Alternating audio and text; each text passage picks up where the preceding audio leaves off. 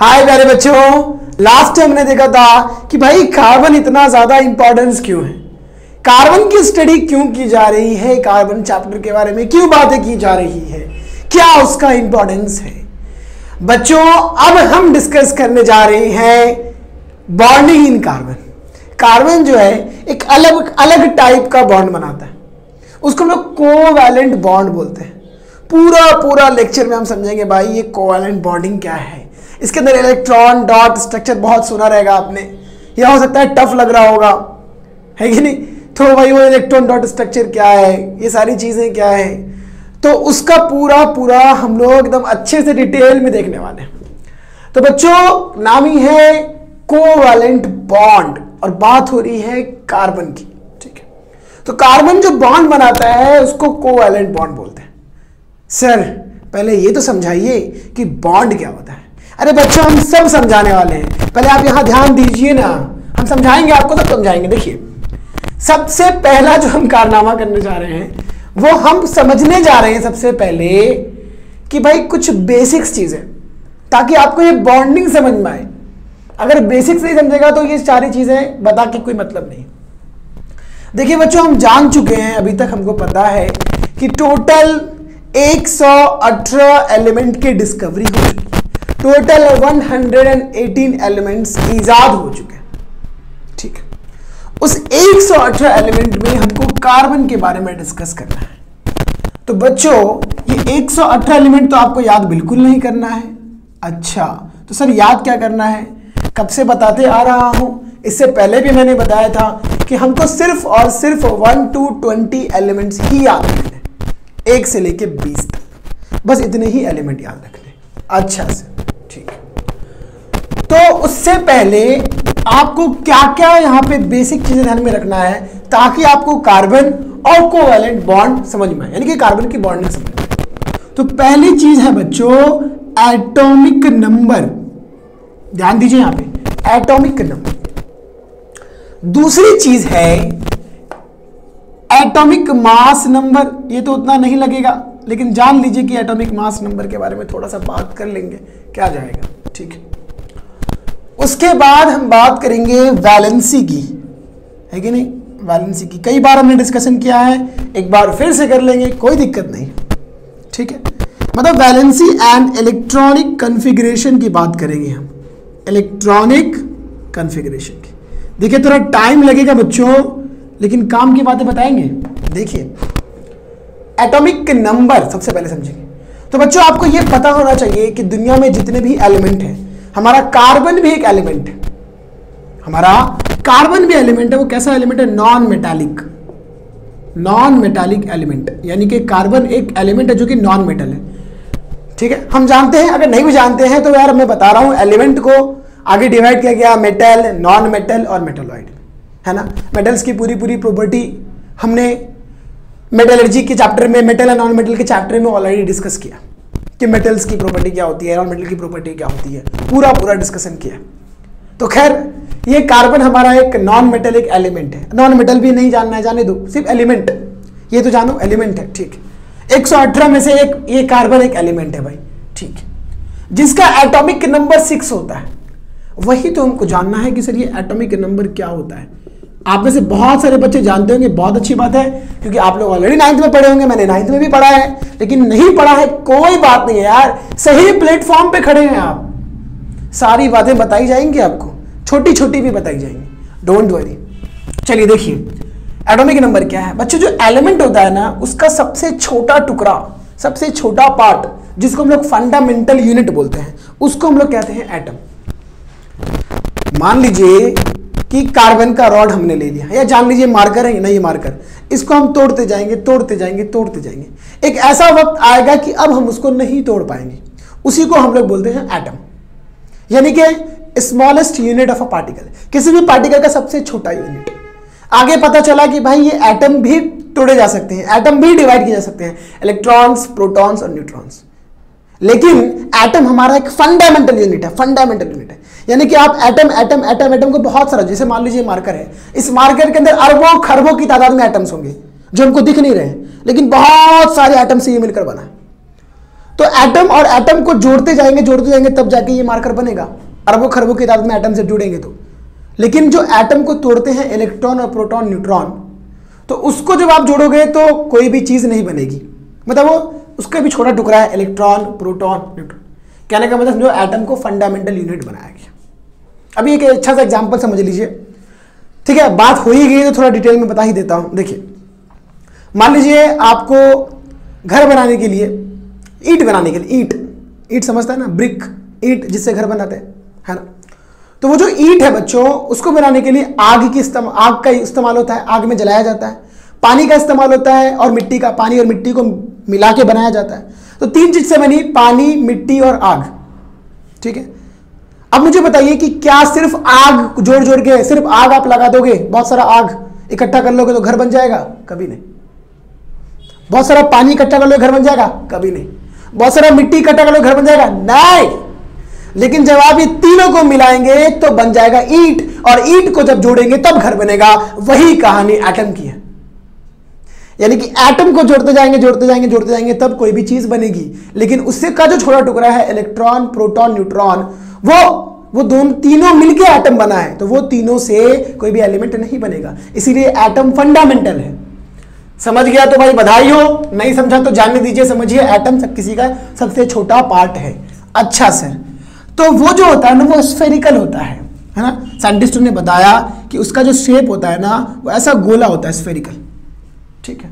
और उसके अंदर एक और गोला होता है, उसका नाम है न्यूक्लियस। क्या नाम है? न्यूक्लियस।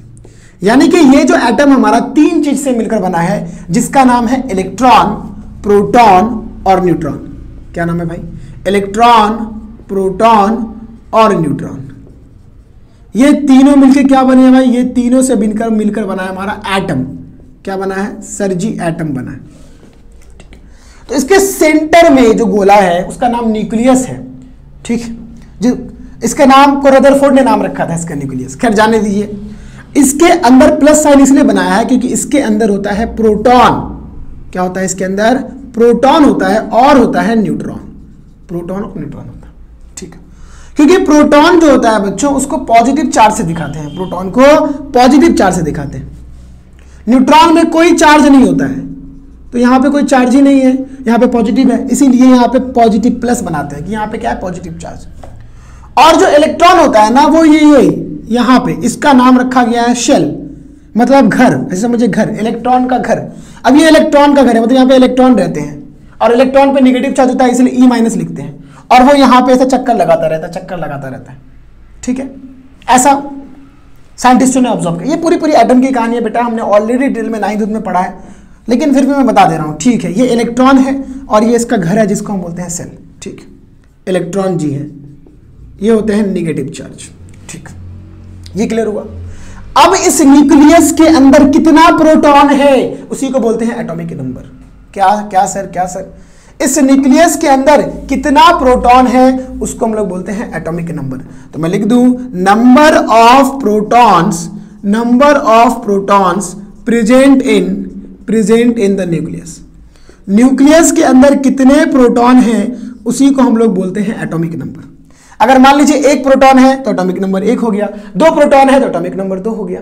और जितने प्रोटॉन होते हैं बच्चों, उतने ही इलेक्ट्रॉन होते हैं. यानी कि नंबर ऑफ़ प्रोटॉन्स बराबर होते हैं नंबर ऑफ़ इलेक्ट्रॉन्स के. ठीक है? अब जो बच्चे ये बेसिक्स जानते हैं, वो स्किप करके आगे से देखना. ठीक है?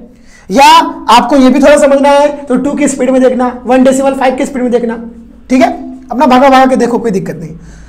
क्योंकि मैं इस हिसाब से चल रहा हूँ कि जो बच्चा पहली बार देख रहा है, उसको भी समझना है, ठीक है?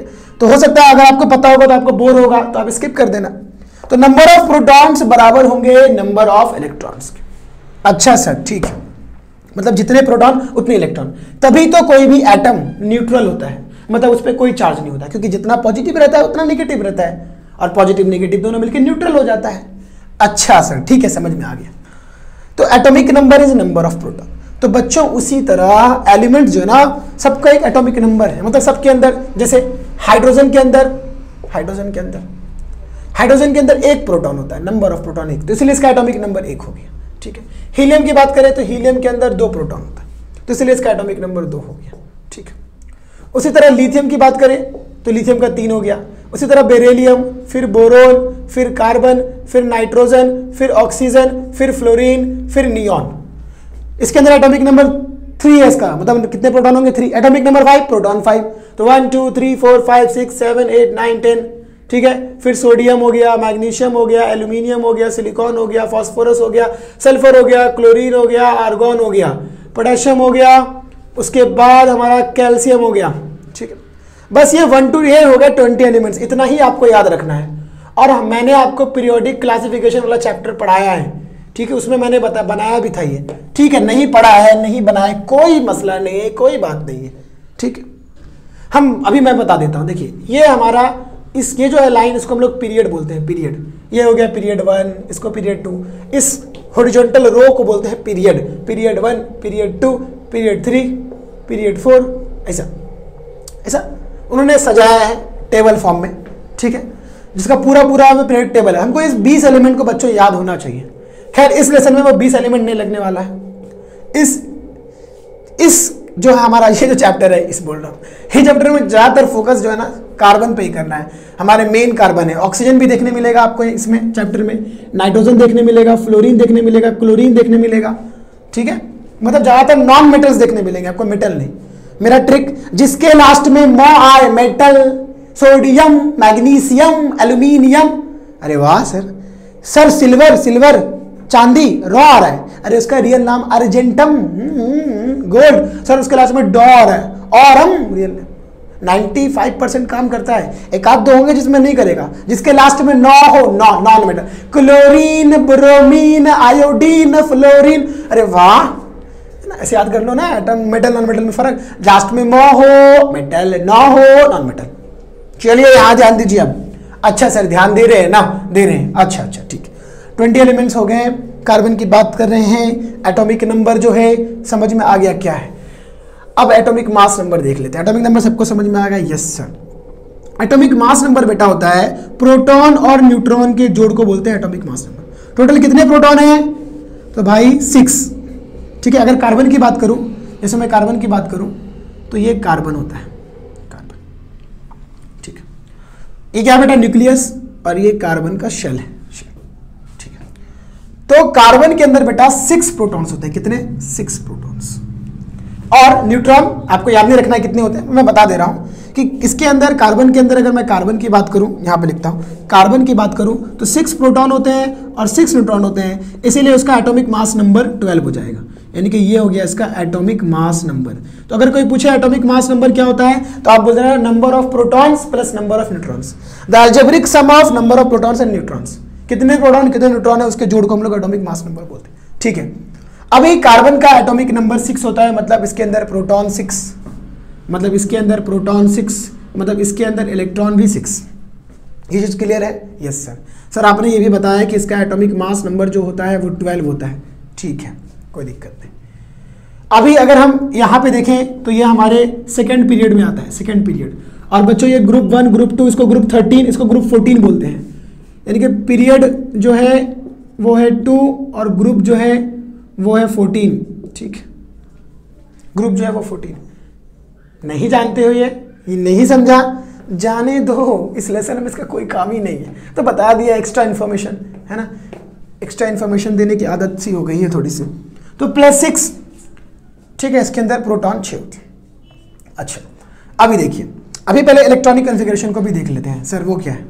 देखिए इलेक्ट्रॉनिक कन्फिग्रेशन इलेक्ट्रॉनिक कन्फिग्रेशन का मतलब होता है, जो इलेक्ट्रॉन होते हैं ना बच्चों वो जिस घर में होते हैं, उस घर में इलेक्ट्रॉन कहाँ पे दिखाया जाता है? इलेक्ट्रॉन को डिस्ट्रीब्यूट किया जाता है रिप्रेजेंट किया जाता है कि कहाँ पे इलेक्ट्रॉन उसी को बोलते हैं इलेक्ट्रॉनिक कन्फिग्रेशन इसके लिए ना, एक साइंटिस्ट थे बोहर एंड बरी।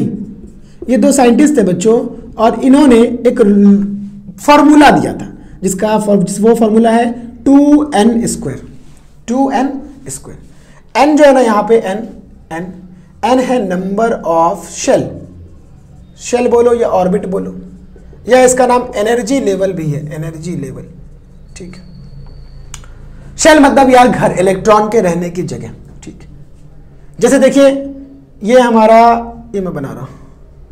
ये हमारा हो, इसको बोलते हैं हम लोग पहला पहला शेल है। ये न्यूक्लियस है, ये तो बच्चा न्यूक्लियस है। ये हो गया पहला सेल इसका नाम है, रखा गया उन्होंने, रखा के ठीक है? क्या लेना देना यार? के रहे एल रहे एम रहे मार्कर चेंज कर लेता हूँ, ताकि सुंदर सुंदर लिखा हुआ दिखाई दे। के ठीक दूसरा जो है वो सेल है सेल एल तीसरा है एम चौथा है एन अरे वाह, बड़ा अच्छा गोल बना लिए सर आप तो। हाँ प्रैक्टिस थोड़ी हो गई है। एल एम और एन देखिए के एल एम एन ध्यान दीजिए बच्चों। यस सर तो भाई नाम रख दिया के एल एम एन चलिए देखिए, अगर ये पहला सेल है ना, ये पहला सेल ये दूसरा सेल ये तीसरा सेल ये चौथा सेल तो एन मतलब क्या? नंबर ऑफ़ सेल तो कौन सा? पहला तो टू इंटू पहला वन का स्क्वायर वन का स्क्वायर वन होता है टू वन जा टू टू तो यानी कि के में कितने मैक्सिमम इलेक्ट्रॉन दो। यानी कि जो के वाला घर है, इसमें सिर्फ़ दो ही इलेक्ट्रॉन रख सकते हैं। उससे ज़्यादा नहीं। के में सिर्फ़ दो इलेक्ट्रॉन्स अच्छा सर टू इंटू दूसरा सेल के लिए टू का स्क्वायर टू का स्क्वायर फोर फोर टू सा एट मतलब जो एल होगा ना बच्चों, उसमें सिर्फ़ सिर्फ़ sir two two four two eight eight electrons रख सकते हैं। मतलब आठ से ज़्यादा नहीं। अच्छा अच्छा सर अच्छा। टू इंटू एन की वैल्यू थ्री तीसरा सेल थ्री का स्क्वायर थ्री थ्री जा नाइन टू जा एटीन यानी कि एम में ना एटीन इलेक्ट्रॉन्स रख सकते हैं। उसी तरह टू इंटू फोर का स्क्वायर फोर फोर जा सिक्सटीन टू जा थर्टी टू यानी कि एन के अंदर थर्टी टू इलेक्ट्रॉन रख सकते हैं। अच्छा सर, ऐसा है? यस ऐसा है। लेकिन अभी याद रखिएगा बच्चों, जो हमारा तीसरा थर्ड और फोर्थ जैसे यहाँ पे थर्ड और फोर्थ के पीरियड के जो एलिमेंट ठीक है। मतलब इनमें क्या होता है कि इनमें फोर्थ में भी आठ ही इलेक्ट्रॉन रखते हैं। ठीक है? फोर्थ में भी आठ ही इलेक्ट्रॉन रहते हैं। सर आप जो बोल रहे हैं वो समझ में नहीं आ रहा है। अच्छा अच्छा ठीक है। अभी समझेगा। अभी एक मिनट और रुक जाइए। ये समझा के एल एम एन मतलब ये छोटा सा घर, इसमें कम इलेक्ट्रॉन ये बड़ा सा घर, इसमें ज़्यादा इलेक्ट्रॉन ये और बड़ा, और ज़्यादा, और बड़ा, और ठीक है। अभी देखिए। एटॉमिक नंबर सिक्स है। यस है carbon yes atomic number six ठीक तो ये बेटा कौन सा सेल है? सर ये के दिख रहा है। देखिए ना, पहला के कितने इलेक्ट्रॉन डाल सकते हैं बच्चों के में? सर के में ना, ये के में दो डाल सकते हैं, दो। तो दो डाल दो? चलो के में दो इलेक्ट्रॉन्स यस सर ठीक है? अब कार्बन का एटॉमिक नंबर छह है। एटॉमिक नंबर छह का मतलब प्रोटॉन भी छह इलेक्ट्रॉन भी छह। यहाँ पे छह प्रोटॉन है। इलेक्ट्रॉन भी सिक्स होने चाहिए। इलेक्ट्रॉन यहाँ पे टू है। है ना? कितना बचा? फोर और बच गया सर तो बनाओ दूसरा सेल यस सर ये तो भर गया। तो अब दूसरे घर पे रखना पड़ेगा। दूसरा एल वाला है। तो कितना बचा है चार? इसमें कितना रख सकते हैं? सर, इसमें आठ। देखिए ना एल वाले में सर, आठ तक इलेक्ट्रॉन रख सकते हैं। लेकिन हमको कितना ज़रूरत है? दो तो हमने रख दिया ऑलरेडी चार ही ज़रूरत है। तो चार ही ज़रूरत है तो चार रख दो। एक, दो, तीन, चार। कोई बोलेगा, सर, मुझे यहाँ रखना है, यहाँ रख दो। कोई दिक्कत नहीं है, लेकिन ये थोड़ा अच्छा लगता है ना, खूबसूरत लगता है। ठीक है? देखिए ना, खूबसूरत लगता है। तो यानी कि इसको हम ऐसे लिखते हैं electronic configuration two comma four के में टू और एल में फोर इसका मतलब है के वाले में टू और एल वाले में फोर इलेक्ट्रॉन्स के में टू इलेक्ट्रॉन्स एल वाले में फोर इलेक्ट्रॉन और जो बाहर के सेल हैं, इसको बोलते हैं वैलेंस शेल क्या बोलते हैं? वैलेंस शेल और इसके अंदर जो इलेक्ट्रॉन्स हैं, इसके अंदर जो इलेक्ट्रॉन्स हैं, इसके इलेक्ट्रॉन्स को बोलते हैं वैलेंस इलेक्ट्रॉन्स वैलेंस इलेक्ट्रॉन अगर मैं बोलूँ कितना वैलेंस इलेक्ट्रॉन है तो आप बोलोगे चार। लास्ट सेल में कितने इलेक्ट्रॉन है? चार। तो वैलेंस इलेक्ट्रॉन कितना हो गया? चार। ठीक, ये क्लियर हुआ? यस सर ये क्लियर हुआ। अभी देखिए, ये जो हमारे महारथी है ना, यहाँ पे हीलियम, नियॉन, ये वाले, आर्गॉन दिख रहा है, यहाँ पे क्रिप्टॉन है बच्चों, यहाँ पे नीचे लिखो, लिख दो? लिख देता हूँ। जेनॉन है, रेडॉन है, ऑर्गेनेसन है, ये नया आया है मार्केट में, ठीक है? ये मार्केट में नया है, इसके बारे में ज़्यादा नॉलेज नहीं है, ज़्यादा इन्फॉर्मेशन अवेलेबल नहीं है, जाने दीजिए। ये भी को नहीं पढ़ना ये भी को नहीं पढ़ना ये भी को नहीं पढ़ना, ये तीन पढ़ना है, बस, खत्म। अच्छा हेमा नेहा और करीना जेलस रानी, याद करने का तरीका हेमा नेहा और करीना। खैर, हमको याद नहीं करना है, कोई लेना देना नहीं है। ठीक है, जाने दीजिए। अच्छा सर तो ये हीलियम है ना बच्चों, हीलियम। ये सब क्या करते हैं? फुल फिल्ड होते हैं, फुल फिल्ड मतलब यार, जितना इसमें चाहिए ना, उतना पूरा पूरा भर जाते हैं देखिए, जैसे में हीलियम का एटॉमिक नंबर होता है टू चलिए, इसका बनाइए। यस सर ये हो गया न्यूक्लियस ये पहला के के दो दो एटॉमिक नंबर टू मतलब प्रोटॉन भी टू मतलब इलेक्ट्रॉन भी टू यानी कि दो भर सकते हैं। यस सर पहला सेल है, दो डाल दिया। यस सर दो। पहले में क्या कितना कैपेसिटी है? दो ही का ही कैपेसिटी है। तो पूरी तरह भर गया है। अच्छा चलिए दूसरा देखते हैं, दूसरा देखते हैं। ये बेटा नियॉन नियॉन का एटॉमिक नंबर होता है टेन कितना होता है? यहाँ पे लिखता हूँ। नियॉन का होता है, नीचे लिख दूँगा नियॉन का टेन या यहाँ लिख देता हूँ नियॉन का होता है टेन ठीक। ये हमारा आ गया पहला सेल कितना भर सकते हैं? दो भर सकते हैं। कितना बचा? दस के लिए आठ बचा। और दूसरे में कितना भर सकते हैं? सर, आठ भर सकते हैं। तो लो, आठों भर दो। एट टू टेन उसी तरह आर्गन का अगर निकालेंगे आप तो देखो यहाँ पे बना रहा हूँ आर्गोन का। ये हो गया पहला दो, दूसरे में कितना आ सकता है? एट एट और बेटा आर्गोन का जो होता है आर्गोन का होता है एटीन तो देखो आठ दस हो गया तो तीसरे में कितना भर सकते हैं? आठ भर सकते हैं। एटीन एटीन तो आप क्या नोटिस करोगे? इसके बाद उसके नीचे जो भी है, खैर हमको जानना नहीं है, लेकिन इसके नीचे जो भी है, वो सब आठ आठ आठ पूरा करते हैं। इसको इसको इसको हम लोग बोलते हैं ऑक्टेट रूल क्या बोलते हैं? ऑक्टेट ऑक्टेट पूरा करते हैं। यानी कि ये जो भी है ना, इसलिए इनको बोलते हैं नोवल गैस नोवल गैस मतलब इसके आउटर मोस्ट सेल बाहर के जो सेल है, पूरी तरह भरे रहते हैं फुल फिल्ड रहते हैं। यानी कि हर सेल ऐसा बोल सकते हो कि हर सेल इसका फिल्ड रहता है। जितना कैपेसिटी है फिल्ड रहता है। या आप बोलो आउटर मोस्ट सेल में हमेशा आठ इलेक्ट्रॉन रहते हैं। बाहर के सेल में हमेशा आठ इलेक्ट्रॉन रहते हैं। आठ ऑक्टेट और वो नोवल है मतलब वो किसी से रिएक्शन नहीं करता है।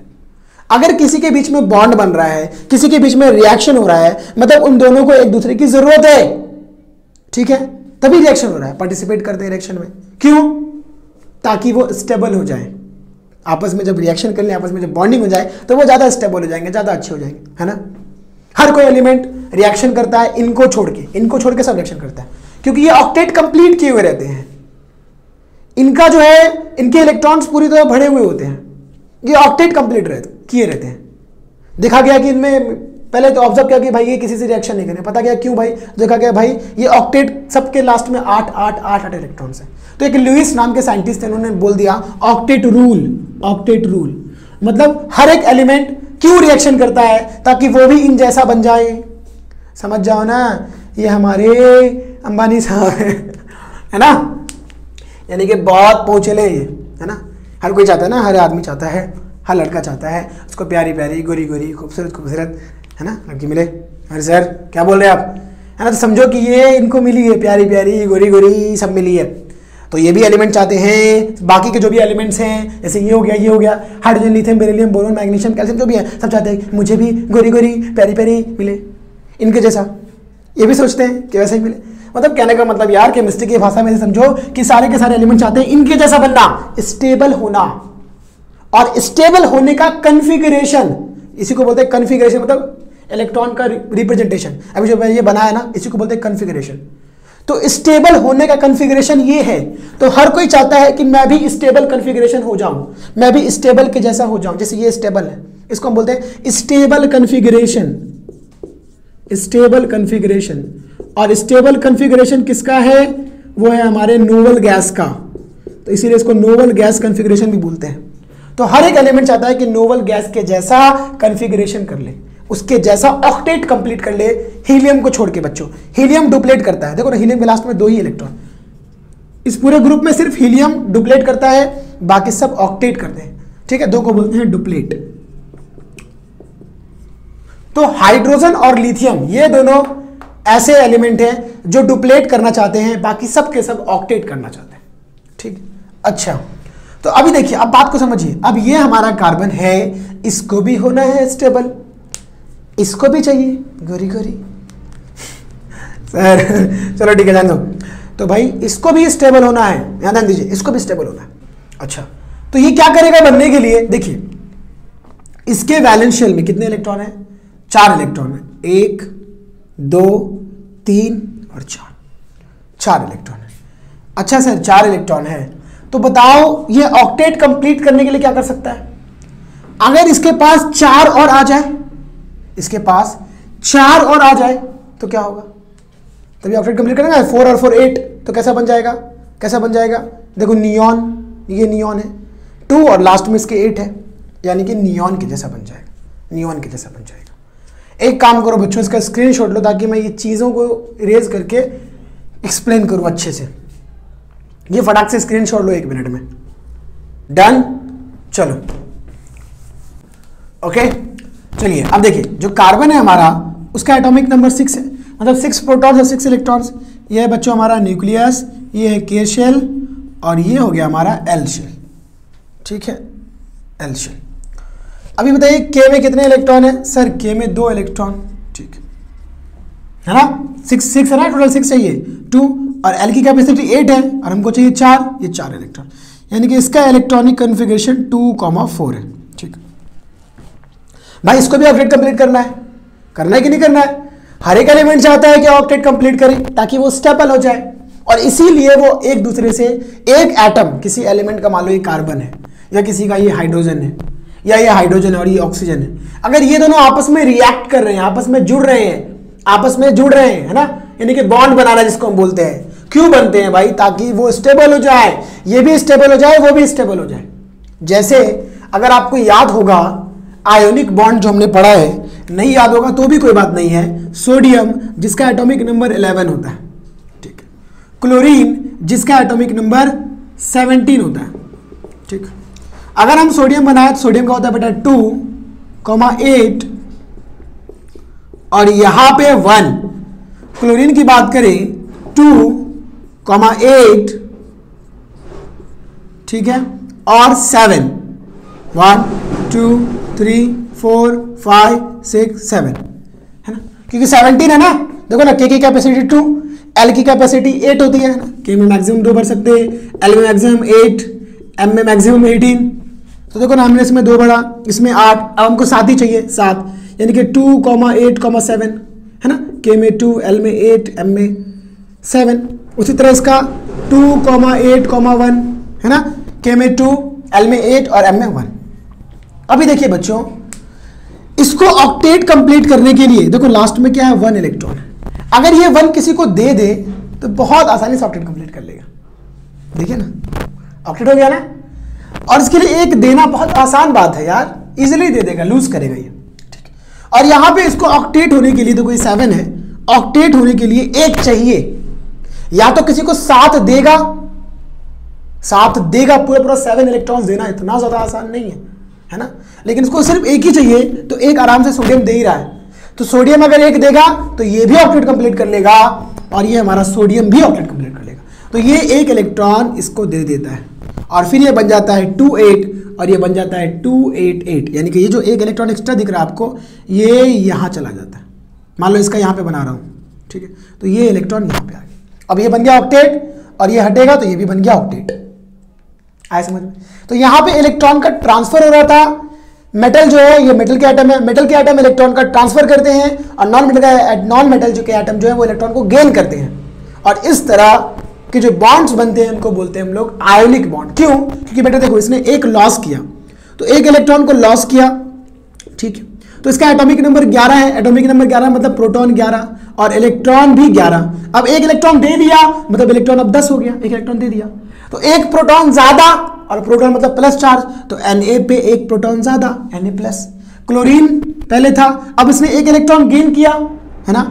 यानी कि एटॉमिक नंबर 17 था प्रोटॉन 17 और इलेक्ट्रॉन इलेक्ट्रॉन भी 17 था, लेकिन एक जब इसने गेन किया, तब ये हो गया 18 तो एक इलेक्ट्रॉन ज़्यादा इलेक्ट्रॉन को माइनस से दिखाते तो ये हो जाएगा Cl माइनस तो ये Na प्लस और Cl माइनस है ना? ये Na प्लस और Cl माइनस दोनों आपस में जुड़ गए. ठीक है? दोनों जुड़ गए. और इसीलिए बोलते हैं आयोनिक बॉन्ड क्योंकि ये जो पॉजिटिव चार्ज और नेगेटिव चार्ज इसको हम लोग बोलते हैं आयंस है ना? अगर कोई एटम इलेक्ट्रॉन को लॉस कर देता है तो वो कटायन कहलाता है, कोई एटम इलेक्ट्रॉन को गेन कर लेता है तो उसको अनायन कहते हैं, कटायन और अनायन तो ये आयंस है तो आयंस आपस में बाइंडिंग की आपस में बॉन्ड बनाए। बॉन्ड बनाए मतलब जुड़ गए। बॉन्ड का मतलब क्या होता है? बॉन्ड का मतलब ये होता है अट्रैक्टिव फोर्स ये जो बॉन्ड है ना, इसका मतलब ये होता है फोर्स ऑफ़ अट्रैक्शन बॉन्ड क्या होता है? कोई भी केमिकल बॉन्ड क्या होता है? फोर्स ऑफ़ अट्रैक्शन एक अट्रैक्शन का फोर्स है ना? है? दोनों के बीच में एक अट्रैक्शन है, जो दोनों को बाँध के रखा है। और किसकी वजह से हुआ? इसने इलेक्ट्रॉन दिया, इसने इलेक्ट्रॉन लिया। तो दोनों के बीच में क्या हो रहा है? लूज और गेनिंग हो रहा है। तो यहाँ पे जो है एक आदमी जो बहुत ज़्यादा रिच है, ऐसे समझो सोडियम मेटल बहुत ज़्यादा रिच है, और इलेक्ट्रॉन जो है, वो रिच नहीं है, वो पुअर है, उसको इलेक्ट्रॉन की ज़रूरत है। तो इसने डोनेट कर दिया, उसने लूज कर लिया।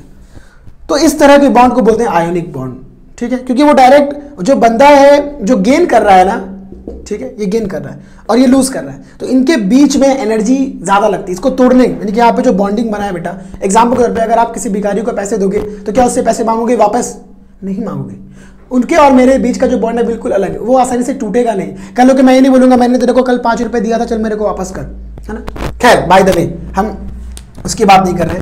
तो ये इसको बोलते हैं लोग आयोनिक बॉन्ड ऐसा बॉन्ड जो किससे बनता है? इलेक्ट्रॉन के ट्रांसफ़र से बनता है। इलेक्ट्रॉन के ट्रांसफ़र से बनता है। अच्छा सर ऐसा है क्या? हाँ बेटा, ऐसा है।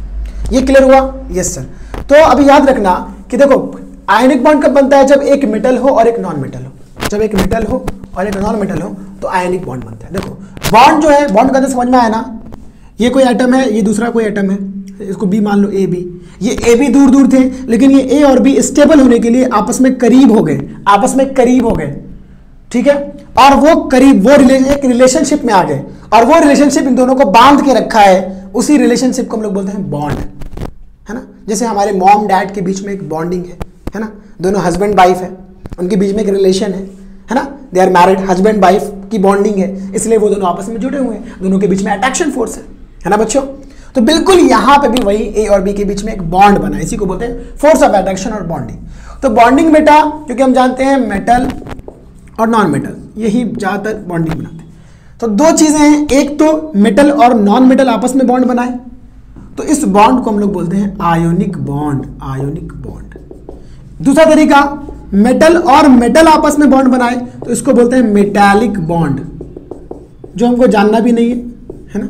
जैसे एक आयरन का ब्लॉक है, मान लो लोहे का कोई इतना बड़ा टुकड़ा है, उसके अंदर बहुत सारे F E F E F E F E F E रहेंगे। सब अमीर हैं, सब डोनेट करने वाले हैं, है ना? उनको किसी चीज़ की ज़रूरत नहीं है तो वो एक दूसरे को बस कॉम्पिटिशन करेंगे नॉर्मल बॉन्ड है। तीसरा तो क्राइटेरिया देखो, ये मेटल नॉन मेटल के बीच में अलग अलग मेटल मेटल दूसरा है नॉन मेटल और नॉन मेटल जब नॉन मेटल नॉन मेटल के बीच में बॉन्डिंग बनती है तो उसको हम लोग बोलते हैं कोवैलेंट बॉन्ड क्या बोलते हैं? क्या बोलते हैं? कोवैलेंट बॉन्ड अभी डिस्कस कर रहा हूँ, अभी मैं डिस्कस कर रहा हूँ कार्बन पे वापस आ रहा हूँ मैं। थोड़ा सा लेके गया मैं उधर। कोवैलेंट बॉन्ड अच्छा सर, ये कोवैलेंट बॉन्ड क्या है? वही तो पढ़ रहे हैं तो पढ़ेंगे पढ़ेंगे अभी। तो आयनिक बॉन्ड तो हम समझ भी गए, पहले भी पढ़ रखा हमने। तो हमको बस ये दोनों के बारे में जानना है। इसके बारे में हमने मेटल्स नॉन मेटल्स मेटलर्जी वाले चैप्टर में अच्छे से देखा था। और अभी भी मैंने बता दिया, और इसी को डिस्कस करने वाले हैं। अब उसमें भी देखो, जो मेटल्स होते हैं ना मेटल्स मेटल्स मेटल्स उनके वैलेंस इलेक्ट्रॉन में वैलेंस इलेक्ट्रॉन मतलब आखिरी सेल में जो इलेक्ट्रॉन होगा, या तो वन होगा, या तो टू होगा, या तो थ्री होगा। और इसीलिए वो लूज करना पसंद करते हैं। जैसे सबसे अच्छा एग्ज़ाम्पल देखो ना अभी सोडियम का लिया था मैंने two eight one atomic number ग्यारह था ना तो दो आठ दस और ग्यारह। तो देखो लास्ट में वन है। अब आप खुद बताइए मुझे सेवन गेन करेगा कि एक लूज करेगा? सेवन को गेन करना सेवन इलेक्ट्रॉन को लेना इतना आसान नहीं, कोई देगा नहीं इसको सेवन इलेक्ट्रॉन लेकिन ये एक आसानी से लूज करके, इसको होना है स्टेबल एक ऑलरेडी एक्स्ट्रा अगर एक किसी को दे देगा तो ये बहुत अच्छे से स्टेबल हो जाएगा ये। तो ये एक को लूज कर देगा। उसी तरह मान लो मैग्नीशियम का ट्वेल्व होता है बेटा, ये सोडियम का है, ये मैग्नीशियम। तो इसका क्या होगा, ट्वेल्व होता है तो टू एट यहाँ पे टू। अब ये दो इलेक्ट्रॉन को देना, थोड़ा क्या इससे, अगर इससे कंपेयर करें तो थोड़ा सा मुश्किल होगा, लेकिन ये भी दो इलेक्ट्रॉन दे देगा, क्योंकि ऑक्टेट कंप्लीट कर रहा है। क्योंकि छह इलेक्ट्रॉन गेन करना सिक्स आठ कंप्लीट करना है ऑक्टेट ऑक्टेट कंप्लीट करने के छह चाहिए। छह कोई नहीं देगा भाई, बहुत बड़ा अमाउंट है। उसी तरह टू एट थ्री एल्यूमिनियम का बच्चों, देखो, थ्री भी कर देगा। लेकिन अगर बात करें ना चार की तो चार फंस जाता है वहाँ पे, जो यहाँ पे मैं डिस्कस करने वाला हूँ। चार रहे हैं डिस्कस करने वाला हूँ मैं, ठीक है? तो जब भी मेटल में होता है valence electron one two three और वो हमेशा इलेक्ट्रॉन को लूज करेंगे इलेक्ट्रॉन को लूज करेंगे इलेक्ट्रॉन को लूज करेंगे। इस बात को ध्यान रखना मुझे लिख रहा हूँ। और बनाएँगे आयोनिक बॉन्ड और बनाएँगे आयोनिक बॉन्ड किसके साथ बनाएँगे? नॉन मेटल के साथ, यानी कि मेटल और नॉन मेटल के साथ बनेगा ये बॉन्ड आयोनिक बॉन्ड अच्छा ऐसा है मेटल लूज करते हैं मेटल लूज करते हैं। और नॉन मेटल जो है नॉन मेटल जो है बच्चों, उनके आउटर मोस्ट इलेक्ट्रॉन में या तो आपको फाइव दिखेंगे, या तो सिक्स दिखेंगे, या तो सेवन दिखेंगे। और इसीलिए वो इलेक्ट्रॉन को गेन करते हैं। सर एक बार इसका भी एग्ज़ाम्पल लीजिए ना लीजिए ना। अच्छा बेटा, देखिए ऑक्सीजन का आठ होता है। हाँ? हाँ सर तो बेटा टू कॉमा सिक्स लिखेंगे, देखो ना, पहले में टू दूसरे में सिक्स है ना? One two three four five six किधर भी बना दो, यहाँ पे two one two two six कितना चाहिए ऑक्टेट कंप्लीट करने sir one two three four five six ही है। ऑक्टेट के लिए टू चाहिए। टू अगर गेन कर लेगा, दो अगर गेन कर लेगा तो क्या हो जाएगा? ऑक्टेट कंप्लीट कर लेगा। अच्छा। और अगर छह लूज करे, तब डुप्लेट करेगा। मतलब हीलियम के जैसा बन जाएगा। मैंने क्या बोला? या तो डुप्लेट करेगा, या तो ऑक्टेट है ना? तो डुप्लेट करेगा क्या? नहीं। दो लेना आसान है, छह देना आसान नहीं है। तो ये क्या करेगा? दो इलेक्ट्रॉन को गेन करेगा गेन करेगा। और बेटा ये गेन करने की या लूज करने की जो कैपेसिटी होती है ना, इसी को हम लोग वैलेंसी भी बोलते हैं valency the combining capacity of element to lose और gain the electrons to attain noble gas configuration किसी भी एलिमेंट के एटम की कंबाइनिंग कैपेसिटी कितना ले सकता है, कितना दे सकता है? क्या करने के लिए?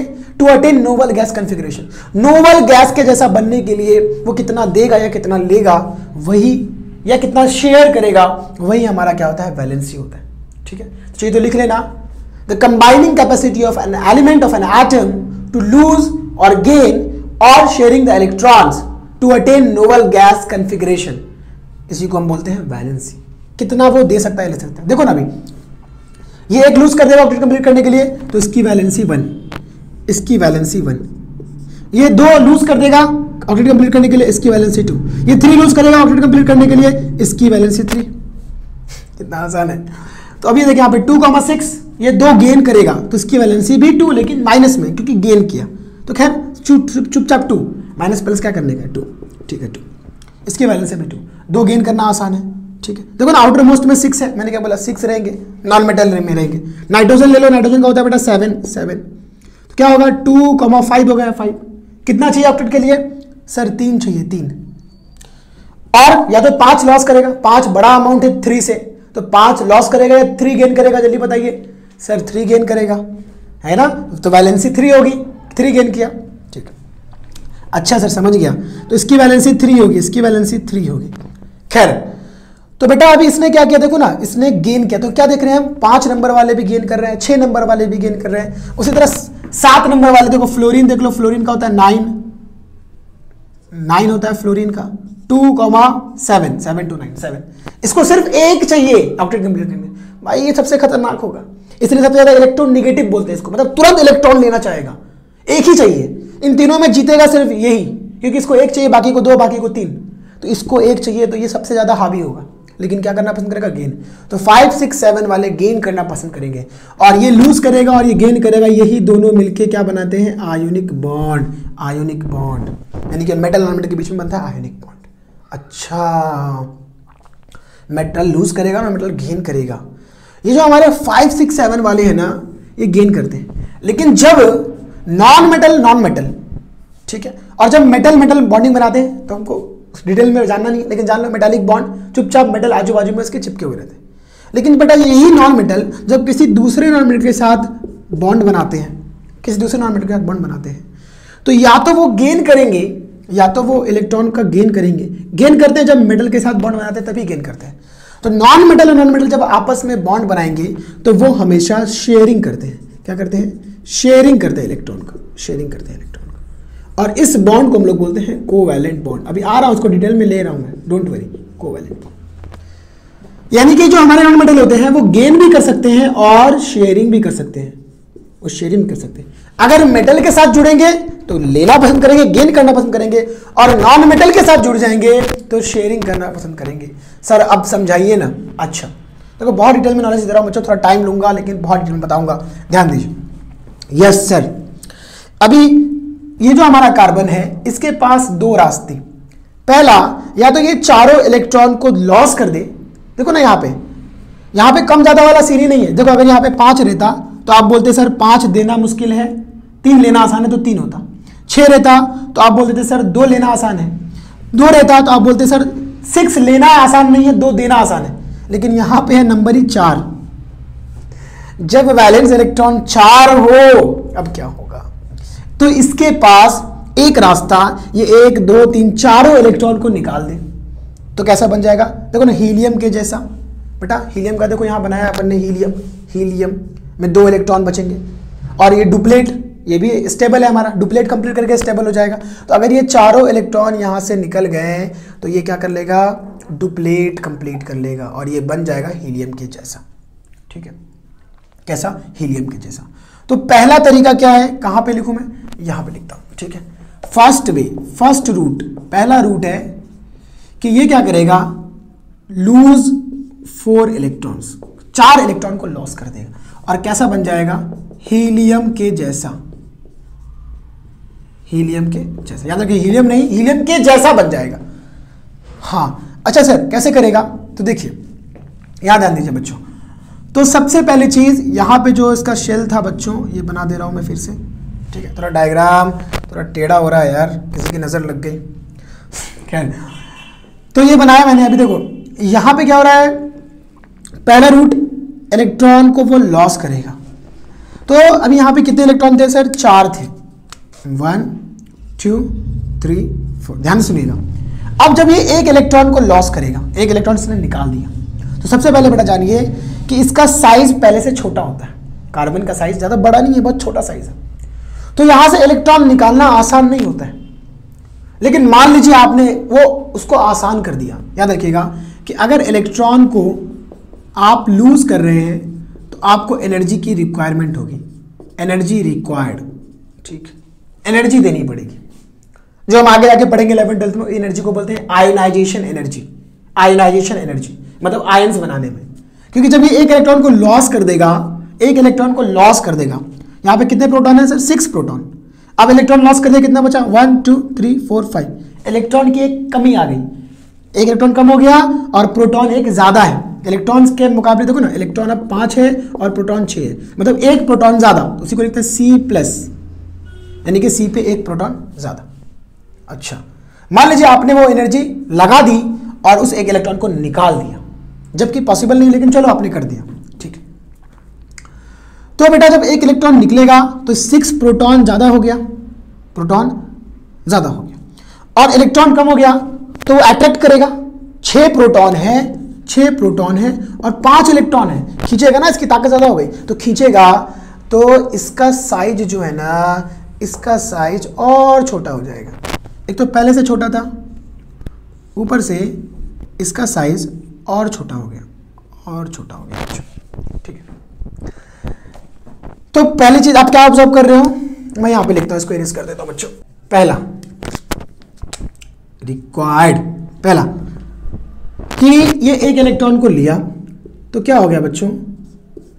Net positive charge net positive charge goes on increasing net positive charge goes on increasing ठीक है? देखो ना पॉजिटिव चार्ज बढ़ने लग गया प्रोटॉन इलेक्ट्रॉन ठीक है? अब देखो, अब एक और, एक तो निकाल दिया आपने साइज़ इसका छोटा हो गया, यहाँ पे कितने बचे वन टू थ्री फोर्थ है, आपने एक निकाल दिया साइज़ छोटा हो गया। अब आप एक और निकाल रहे हो, चलो एक और निकाल दिया। अब छह लोग कितने को खींच रहे हैं? चार को खींच रहे हैं। अब और साइज़ छोटा होगा। पहली बात तो उसको एनर्जी देना पड़ेगा, और ज़्यादा अमाउंट में, ठीक है? तो सी प्लस करने के लिए आपने क्या किया? पहले एनर्जी दिया। तब जाके ये बना सी प्लस ठीक है। अब आप और एनर्जी दे रहे हो, ठीक है? मान लो आपने दे दिया वो एनर्जी और इसको बना दिया आपने सी टू प्लस यानी कि दो दो इलेक्ट्रॉन निकाल लिए। अब देखो यहाँ पे दो ही इलेक्ट्रॉन बचा है। तो अब ये और खींचेगा और इसका साइज़ जो है बच्चों इसका साइज़ और छोटा हो जाएगा।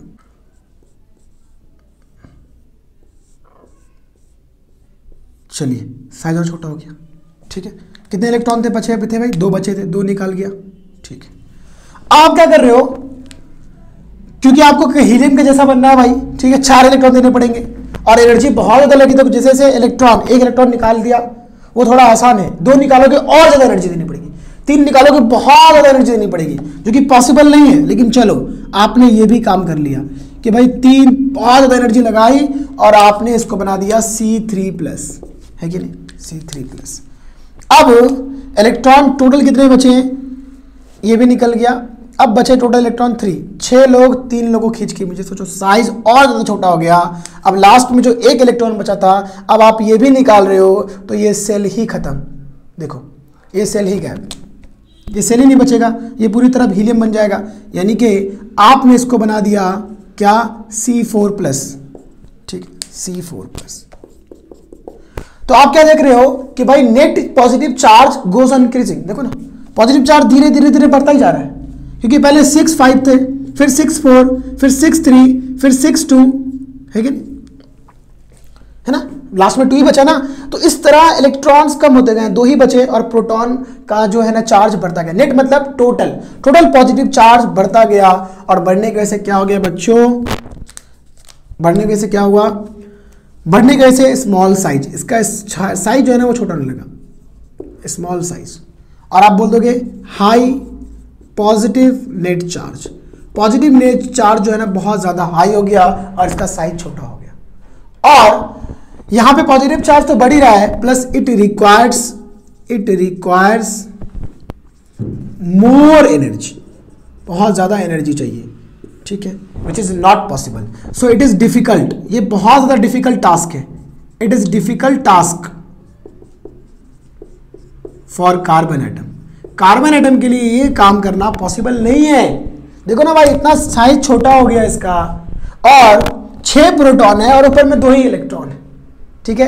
तो ये पॉसिबल नहीं है कि हम, सबसे पहली बात तो हम इतनी एनर्जी दे ही नहीं पाएँगे कि इलेक्ट्रॉन निकले। लेकिन फिर भी चलो, मैंने बोला कि इलेक्ट्रॉन आपने इतना दे दिया कि पूरा पूरा निकल गया। लेकिन साइज़ इतना छोटा हो जाएगा और पॉजिटिव नेट चार्ज इतना बढ़ जाएगा कि वो स्टेबल ही नहीं रहेगा। It will be unstable in this form ये स्टेबल ही नहीं हो पाएगा। हीलियम का जैसा बन ही नहीं पाएगा। पॉसिबल ही नहीं मतलब ये रास्ता अपनाना इसके लिए पॉसिबल नहीं है। अच्छा। दूसरा रास्ता क्या है? सेकेंड रूट अगर सेकेंड रूट की मैं बात करूँ कार्बन के लिए सेकेंड रूट तो ये चाहेगा, देखो ना, ये हमारा न्यूक्लियस इसमें दो इलेक्ट्रॉन बच्चों और सर इसमें four electron one two three four ठीक है। अगर चार और मिल जाए तो क्या बन लेगा? ऑक्टेट मतलब sir it can gain four electron है ना? और कैसा बन जाएगा? नियॉन के जैसा, देखो ये नियॉन है हमारा। टू और एट टेन, है ना? लास्ट में एट है ना? टू देखो टू फिर फोर की जगह एट तो कैसा बन जाएगा? नियॉन के जैसा। नियॉन नहीं भाई नियॉन के जैसा। अच्छा सर चलिए नियॉन के जैसा। तो जब एक इलेक्ट्रॉन लेगा, ठीक है? मान लीजिए आपने क्या कर दिया? एक इलेक्ट्रॉन गेन करवा दिया। गेन वन इलेक्ट्रॉन तो क्या बनेगा ये? सी माइनस जैसे वो प्लस था, ये माइनस क्योंकि यहाँ पे सिक्स प्रोटॉन है। और इलेक्ट्रॉन कितने हो गया? पाँच हो गए। तो इलेक्ट्रॉन एक बढ़ गया ना तो एक इलेक्ट्रॉन बढ़ गया तो सी माइनस यानी कि एक, एक माइनस एक इलेक्ट्रॉन ज़्यादा। अब यहाँ पे एक इलेक्ट्रॉन बढ़ेगा ये भी इलेक्ट्रॉन ये भी इलेक्ट्रॉन सेम सेम चार्ज है ना? कभी भी अट्रैक्शन क्या बोल रहे सर क्या बोल रहे बोलो। कभी भी अट्रैक्शन बॉयज़ और गर्ल्स में होता है बॉयज़ बॉयज़ में नहीं होता है तो ये दोनों दूर भागेंगे रिपल्सन होगा एक दूसरे से भागना चाहेंगे तो यहाँ पे पैदा होगा रिपल्सन रिपल्सन अब इस रिपल्सन को ओवरकम करने के लिए रिपल्सन को हटाने के लिए हमको क्या करना पड़ेगा? इसके साइज़ को बड़ा करना पड़ेगा। देखो ना, ये चीज़ है, अभी ये चीज़ है। ये पहले यहाँ पे थी, अब यहाँ पे आ गई। देखो ना, अगर मैं इसके साइज़ को बड़ा कर दूँ तो दोनों दूर दूर हो जाएँगे। तो मतलब इसका साइज़ बड़ा हो जाएगा। तो रिपल्सन की वजह से इनका साइज़ बड़ा हो जाएगा और इस रिपल्सन को खत्म करने के एनर्जी की रिक्वायरमेंट होगी। मतलब energy is required energy is required, है कि नहीं? To overcome repulsion. है ना भाई? एनर्जी की ज़रूरत होगी ताकि रिपल्सन हटे। और फिर क्या होगा भाई? साइज़ जो होगा वो बड़ा होने लगेगा। साइज़ बढ़ने लगेगा। और निगेटिव चार्ज बढ़ेगा। तो आप क्या बोलोगे? Net negative charge goes on increasing मतलब कंटिन्यूस क्या होगा? ये इंक्रीज होने लगेगा। देखो ना सी माइनस चलो, एक इलेक्ट्रॉन और ले लिया। ठीक है। अब क्या हो गया? सी टू माइनस एक इलेक्ट्रॉन और आ गए यहाँ पे फिर रिपल्सन पैदा हुआ। फिर इसका साइज़ बड़ा हो गया। मतलब अब इसका साइज़ जो है ना बच्चों, ऐसा नहीं रहेगा। अब इसका साइज़ ये हो गया। ठीक है। फिर एक और इलेक्ट्रॉन सी थ्री माइनस अब और साइज़ बड़ा हो गया थोड़ा सा। एक फोर फोर माइनस देखो ना, क्योंकि दूर जाएँगे रिपल्सन होंगे, दूर भागेंगे दूर भागेंगे साइज़ बढ़ेगा। तो साइज़ इसका बड़ा हो जाएगा। तो आप क्या बोलोगे कि साइज़ बड़ा हो गया? Net negative charge goes on increasing है ना? ये भी पॉसिबल नहीं है। अरे भाई जितना इसका साइज़ है उससे काफ़ी ज़्यादा बड़ा हो जाएगा। ये पॉसिबल है क्या? नहीं पॉसिबल है। तो ये रास्ता भी नहीं अपनाएगा क्योंकि ये भी इसके लिए स्टेबल नहीं है। अगर मैं स्टेबल की बात करूँ तो नहीं है। हमारे पास उतनी एनर्जी नहीं है कि हम इसके रिपल्सन को रोक पाए। नहीं दे पाएँगे। या, या हमने दे भी दिया तो निगेटिव चार्ज इतना बढ़ जाएगा इतना बढ़ जाएगा कि ये छह इलेक्ट्रॉन देखो ना टोटल इलेक्ट्रॉन कितने हो जाएँगे बेटा? टू कॉमा एट दस इलेक्ट्रॉन यानी कि सिक्स प्रोटॉन्स के पास इतनी कैपेसिटी नहीं रहेगी कि ये होल्ड कर ले दस इलेक्ट्रॉन्स को। Six protons can not hold ten electrons वो छह ही प्रोटॉन बचा, दस इलेक्ट्रॉन को कैसे रख सकता है? और ऑलरेडी कार्बन का साइज़ बहुत छोटा होता है। और उसमें इलेक्ट्रॉन पे इलेक्ट्रॉन इलेक्ट्रॉन पे इलेक्ट्रॉन रख रहे हैं। तो क्या होगा? रिपल्सन होता जाएगा साइज़ बढ़ता जाएगा और फिर पॉसिबल नहीं होगा। तो आप बोल देना कि इसका बहुत साइज़ छोटा होता है, इतने सारे इलेक्ट्रॉन्स उसमें नहीं रख सकते हम। वरना ये सारी चीज़ें होंगी। तो ये भी रास्ता नहीं अपनाएगा। अरे यार, सर, ये क्या हो गया? यानी कि ऐसे एलिमेंट्स ऐसे एलिमेंट्स ऐसे एलिमेंट्स, जिसके बैलेंस इलेक्ट्रॉन में चार चार होंगे। बैलेंस इलेक्ट्रॉन चार होंगे। तो वो ना लूज करेगा, ना गेन करेगा, बल्कि तीसरा रास्ता अपनाएगा, और वो रास्ता है sharing. Sharing is caring. Mandoli, है ना? यहाँ के लैंग्वेज में बोला जाए तो मांडोली करना, शेयरिंग करना। चलो भाई, मिल बांट के खाते हैं ना?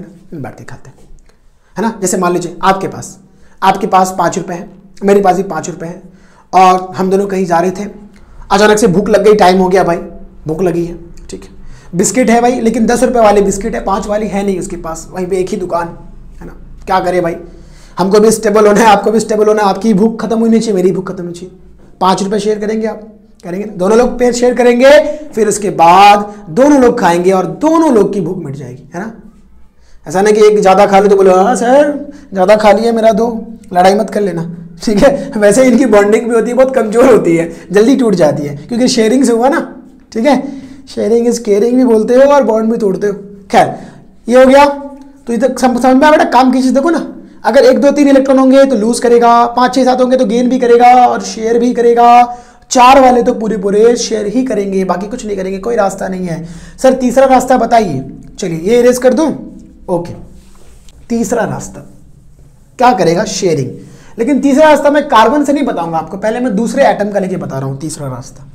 यानी कि हम पढ़ने जा रहे हैं शेयरिंग शेयरिंग चलिए।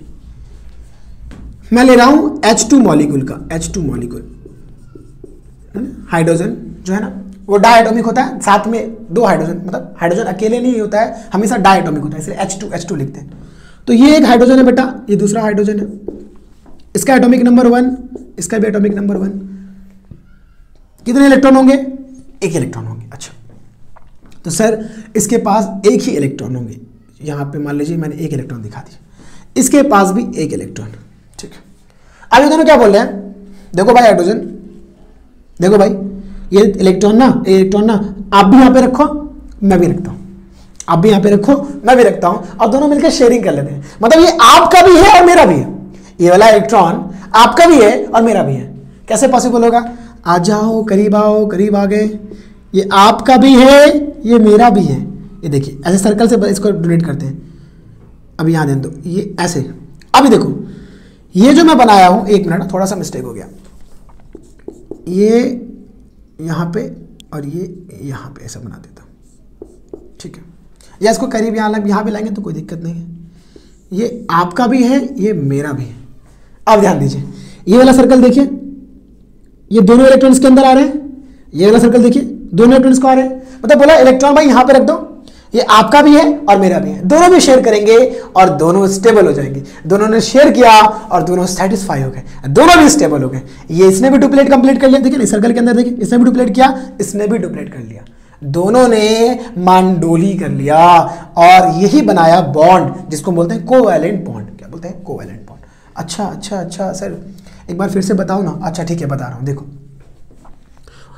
ये हाइड्रोजन ये डॉट ये डॉट एक इलेक्ट्रॉन एक साइंटिस्ट है जिनका नाम था लुइस। क्या बोल, क्या नाम था उनका? Lewis Lewis. उन्होंने एक स्ट्रक्चर दिया जिसको बोलते हैं Lewis dot structure Lewis dot structure G N Lewis, ठीक है भाई? जी एन लुइस इनका नाम था। इन्होंने क्या बोला कि भाई, कोई भी एलिमेंट का, के जो वैलेंस इलेक्ट्रॉन है, उसको उसके सर पे दिखा दो या आजू बाजू दिखा दो, उसको बोलते हैं इलेक्ट्रॉन डॉट स्ट्रक्चर जैसे देखो, मैं बोल रहा हूँ, ये भी कार्बन का ही लेता हूँ, चलो कार्बन कार्बन का एटॉमिक नंबर सिक्स यानी कि कितने? प्रोटॉन सिक्स तो इलेक्ट्रॉन भी कितने? सिक्स। लेकिन इलेक्ट्रॉनिक कन्फिग्रेशन क्या बेटा? Two comma four. तो लास्ट सेल में बैलेंस सेल में कितने electron four four four four. तो फोर दिखा दो। वन टू थ्री फोर ये हो गया इसका इलेक्ट्रॉन डाटा स्ट्रक्चर इतना आसान। चलो अभी देखो जैसे मैं बोलूँ नाइट्रोजन इसका एटॉमिक नंबर था सेवन तो टू कमा फाइव जल्दी बताओ sir one two three four five कहीं भी रख दो। पाँच। है ना? लिथियम लिथियम का होता है three two comma one lithium one ये लो। वैलेंस सेल वन है वन दिखाई आएगा समझ में? इसको लुइस डॉट स्ट्रक्चर बोलते हैं। इसलिए इसको डॉट से दिखाते हैं हम। डॉट से डॉट से दिखाते हैं। ठीक है? तो ये इलेक्ट्रॉन ये डॉट क्या है भाई? ये इलेक्ट्रॉन को बता रहा है। तो हाइड्रोजन के पास एक इलेक्ट्रॉन था, एक इलेक्ट्रॉन था। दोनों ने यहाँ पे रखा और आपस में कर ली शेयरिंग आज कैसे बना सकते हो? ये हाइड्रोजन इसने भी रखा अपना इलेक्ट्रॉन इसने भी रखा अपना इलेक्ट्रॉन इसने भी कर लिया कंप्लीट इसने भी कर लिया कर लिया कंप्लीट देखो ना, इसके सर्कल के अंदर भी दो इलेक्ट्रॉन आ रहे हैं, इसके सर्कल के अंदर भी दो इलेक्ट्रॉन आ रहे हैं। दोनों ने कर लिया कंप्लीट और इस तरह के रिप्रेजेंटेशन को हम लोग बोलते हैं Lewis dot structure electron dot structure क्या बोलते हैं? इलेक्ट्रॉन डॉट स्ट्रक्चर आप इसको ऐसे भी लिख सकते हो एच ये ऐसा, ये। इसका हम लोग क्या बोलते हैं? इलेक्ट्रॉन डॉट स्ट्रक्चर बहुत इंपॉर्टेंट है एग्ज़ाम में कई बार आ चुका है और अक्सर आता ही आता है कि भाई इसका इलेक्ट्रॉन डॉट स्ट्रक्चर बना अभी तो हमने बेसिक लिया है। हमने अभी बहुत बहुत सारे कंपाउंड देखने वाले हैं। तो इसका इलेक्ट्रॉन स्ट्रक्चर हमने ये बनाया, ठीक है? अब ये जो है ना बेटा, ये दो डॉट है ना, दो डॉट तो उसको क्या करते हैं, हम एक लाइन खींच देते हैं डॉट के बीच में, है ना? जैसे यहाँ पे था ना, ये ये, इनके बीच में एक लाइन खींच देते हैं, और ऐसे बना देते हैं एच ये एच और इसी को बोल दिया बॉन्ड बॉन्ड अब दोनों के बीच में जो बॉन्ड बना, यानी कि अट्रैक्शन हुआ, एक रिलेशनशिप दोनों के बीच में हो गया, वो किसकी वजह से हुआ? शेयरिंग ऑफ़ इलेक्ट्रॉन इलेक्ट्रॉन की शेयरिंग से हुआ। तो इस तरह के बॉन्ड को बोलते हैं कोवेलेंट बॉन्ड जो कि कार्बन भी हमारा बनाता है भी देखने वाले कौन सा कौन सा बॉन्ड बोलते हैं? Covalent bond covalent bond covalent bond का डेफिनेशन चाहिए तो लिख लेना। The bond which is formed by sharing of two valence electron between two atoms यहाँ पे लिख दे रहा हूँ, मैं लिख दे रहा हूँ। क्या है covalent bond the bond the chemical bond ऐसा लिखो the chemical bond the chemical bond which is formed by which is formed by sharing of two valence electrons between two atoms किसी दो एटम्स के बीच में जो दो वैलेंस इलेक्ट्रॉन की शेयरिंग होगी, उसी को बोलते हैं वैल क्या? कोवेलेंट बॉन्ड देखो ना दो वैलेंस इलेक्ट्रॉन ना, एक और एक दो। दो वैलेंस इलेक्ट्रॉन एक इस हाइड्रोजन का, एक इस हाइड्रोजन का और एक इस हाइड्रोजन का। दोनों वैलेंस इलेक्ट्रॉन किसी दो एटम के बीच में, देखो ना between two atoms between two atom दो आइटम के बीच में दो वैलेंस इलेक्ट्रॉन से जो दो इलेक्ट्रॉन को शेयर करके, है ना, दो वैलेंस इलेक्ट्रॉन को शेयरिंग है ना, इसने भी लिया, इसने भी लिया। शेयरिंग करके जो बॉन्ड बनता है उसको क्या बोलते हैं? केमिकल कोवैलेंट बॉन्ड तो ऐसे ही बोल सकते हो the chemical bond which is found by sharing of electron is called as covalent bond ऐसा बोलो। The bond the chemical bond which is formed by two valence electron between two atoms दो अलग अलग एटम में, दो atom अलग भी हो सकते हैं सेम भी हो सकते हैं। देखो यहाँ पे हाइड्रोजन हाइड्रोजन अलग भी हो सकता है। मान लो एच सी एल भी हो सकता है, ठीक है? तो ये जो बनेगा कोवेलेंट बॉन्ड कोवेलेंट बॉन्ड जो बनेगा बच्चों, यहाँ पे लिखता हूँ, वो सिमिलर एटम में भी बन सकता है। Similar atom of non metals as well as different atom दो अलग अलग एटम के से भी बन सकते हैं नॉन मेटल के, और एक जैसे एटम से भी बन सकते हैं। सेम एटम सिमिलर क्यों लिख रहा हूँ यार? सेम लिखो ना। सेम एटम नॉन मेटल के सेम एटम से भी और अलग अलग से, ठीक है। उसका नाम क्या हो गया? बॉन्ड और ये कौन सा बॉन्ड हो गया? कोवैलेंट बॉन्ड ठीक है। कोवैलेंट बॉन्ड ठीक है। अभी, इस तरह के स्ट्रक्चर को हम लोग बोलते हैं लाइन स्ट्रक्चर क्या बोलते हैं? Line structure line structure. क्योंकि देखो ना, लाइन ड्रॉ किया। और इसको हम लोग बोलते हैं सिंगल बॉन्ड। और क्या बोलते हैं बच्चों? Single bond single bond single bond. अगर कोई बोले कि सिंगल बॉन्ड क्या है? सिंगल बॉन्ड क्या है? तो यहाँ पे लिखना कि सिंगल बॉन्ड जो है वो क्या है भाई? A pair of shared electrons a pair of shared electrons ठीक है? शेयर्ड इलेक्ट्रॉन्स मतलब एक जोड़ा इलेक्ट्रॉन देखो एक जोड़ा, दो इलेक्ट्रॉन एक जोड़ा इलेक्ट्रॉन जो शेयर हो गया, है ना? जो शेयर हो गया यानी कि sharing of a pair of electron sharing of two electrons या sharing of pair of electron एक जोड़ा इलेक्ट्रॉन का शेयरिंग होना शेयर करना, क्या कहलाता है? सिंगल बॉन्ड है ना? तो भाई, एक जोड़ा जो इलेक्ट्रॉन था, उसने शेयरिंग कर लिया। वही इसी को क्या बोलते हैं लोग? सिंगल बॉन्ड ऐसा दिखा देते हैं। लाइन स्ट्रक्चर और इसका नाम पड़ गया सिंगल बॉन्ड आया समझ में? यस सर यहाँ पे दोनों ने मांडोली कर लिया। अच्छा! सर, आप बताओ ना, कार्बन कैसे करता है, कार्बन कैसे करता है? रुकिए ना, बहुत जल्दी कर रहे हैं आप। देखिए अभी अभी और एक आध एग्ज़ाम्पल देखते हैं। ये इरेज कर रहा हूँ मैं फटाक से। आप लोग लिख लिया करो स्क्रीनशॉट ले लिया करो, और यहाँ ध्यान दीजिए, मैं समझ रहा हूँ लेक्चर बड़ा हो रहा है, लेकिन काम की बात बता रहा हूँ। देखिए फटाक से। यस सर चलिए सी एल टू मॉलिक्यूल का करेंगे। यस सर करेंगे ना। सी एल टू मॉलिक्यूल ये हमारा सी एल ये हमारा सी एल ठीक है। यस सर अभी देखिए सी एल का atomic number seventeen atomic number seventeen देखिए टू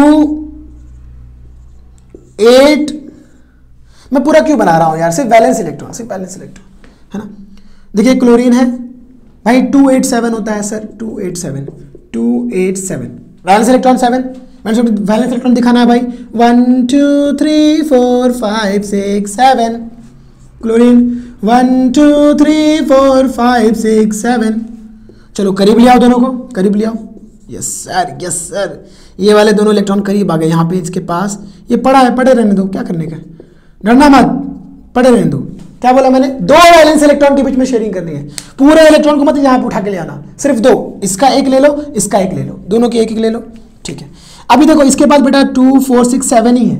लेकिन अगर ये इसको ले लेगा तो एट हो जाएगा। ले लो इसको, ले लिया। Two four six eight eight eight two four six ये ले लेगा तो ये भी एट हो जाएगा. Two four six eight eight दोनों ने ऑप्शन कंप्लीट कर लिया और ये बन जाएगा C L bond C L ये बॉन्ड हो गया.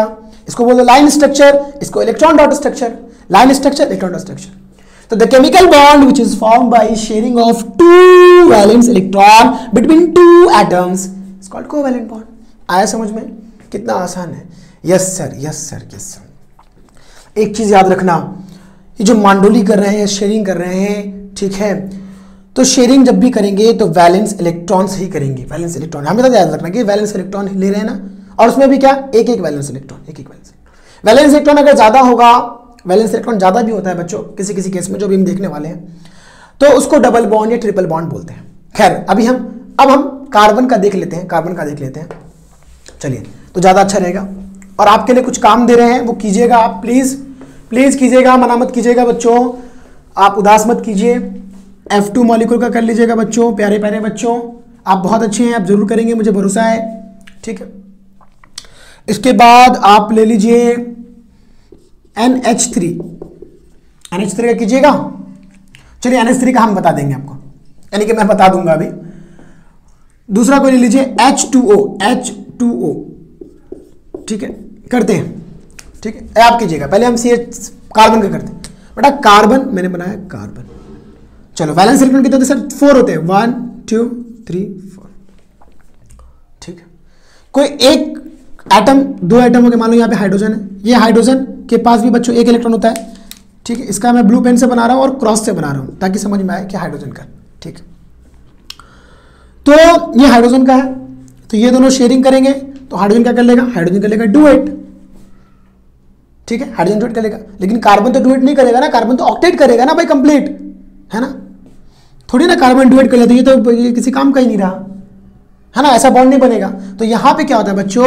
एक हाइड्रोजन एटम नहीं, बल्कि चार अलग अलग हाइड्रोजन एटम के साथ बॉन्डिंग करता है। चार अलग अलग हाइड्रोजन अब इसके पास भी अपना एक, इसके पास भी अपना एक, इसके पास भी अपना एक।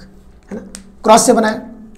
अब देखो ये हाइड्रोजन ने भी क्या कर लिया भाई? ये हाइड्रोजन भी कंप्लीट कर लिया।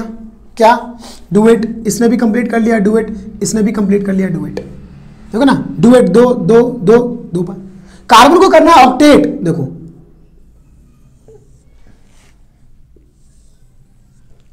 देखिए one two three four five six seven eight carbon के सर्कल में एट आ गए। तो कार्बन ने क्या कर लिया? ऑक्टेट। और हाइड्रोजन ने क्या कर लिया? डुएट डुएट डुएट तो कार्बन में सेटिस्फाई हो गया हाइड्रोजन में सेटिस्फाई हो गया। मतलब कार्बन अपने साथ चार चार एटम को जोड़ सकता है। ठीक है?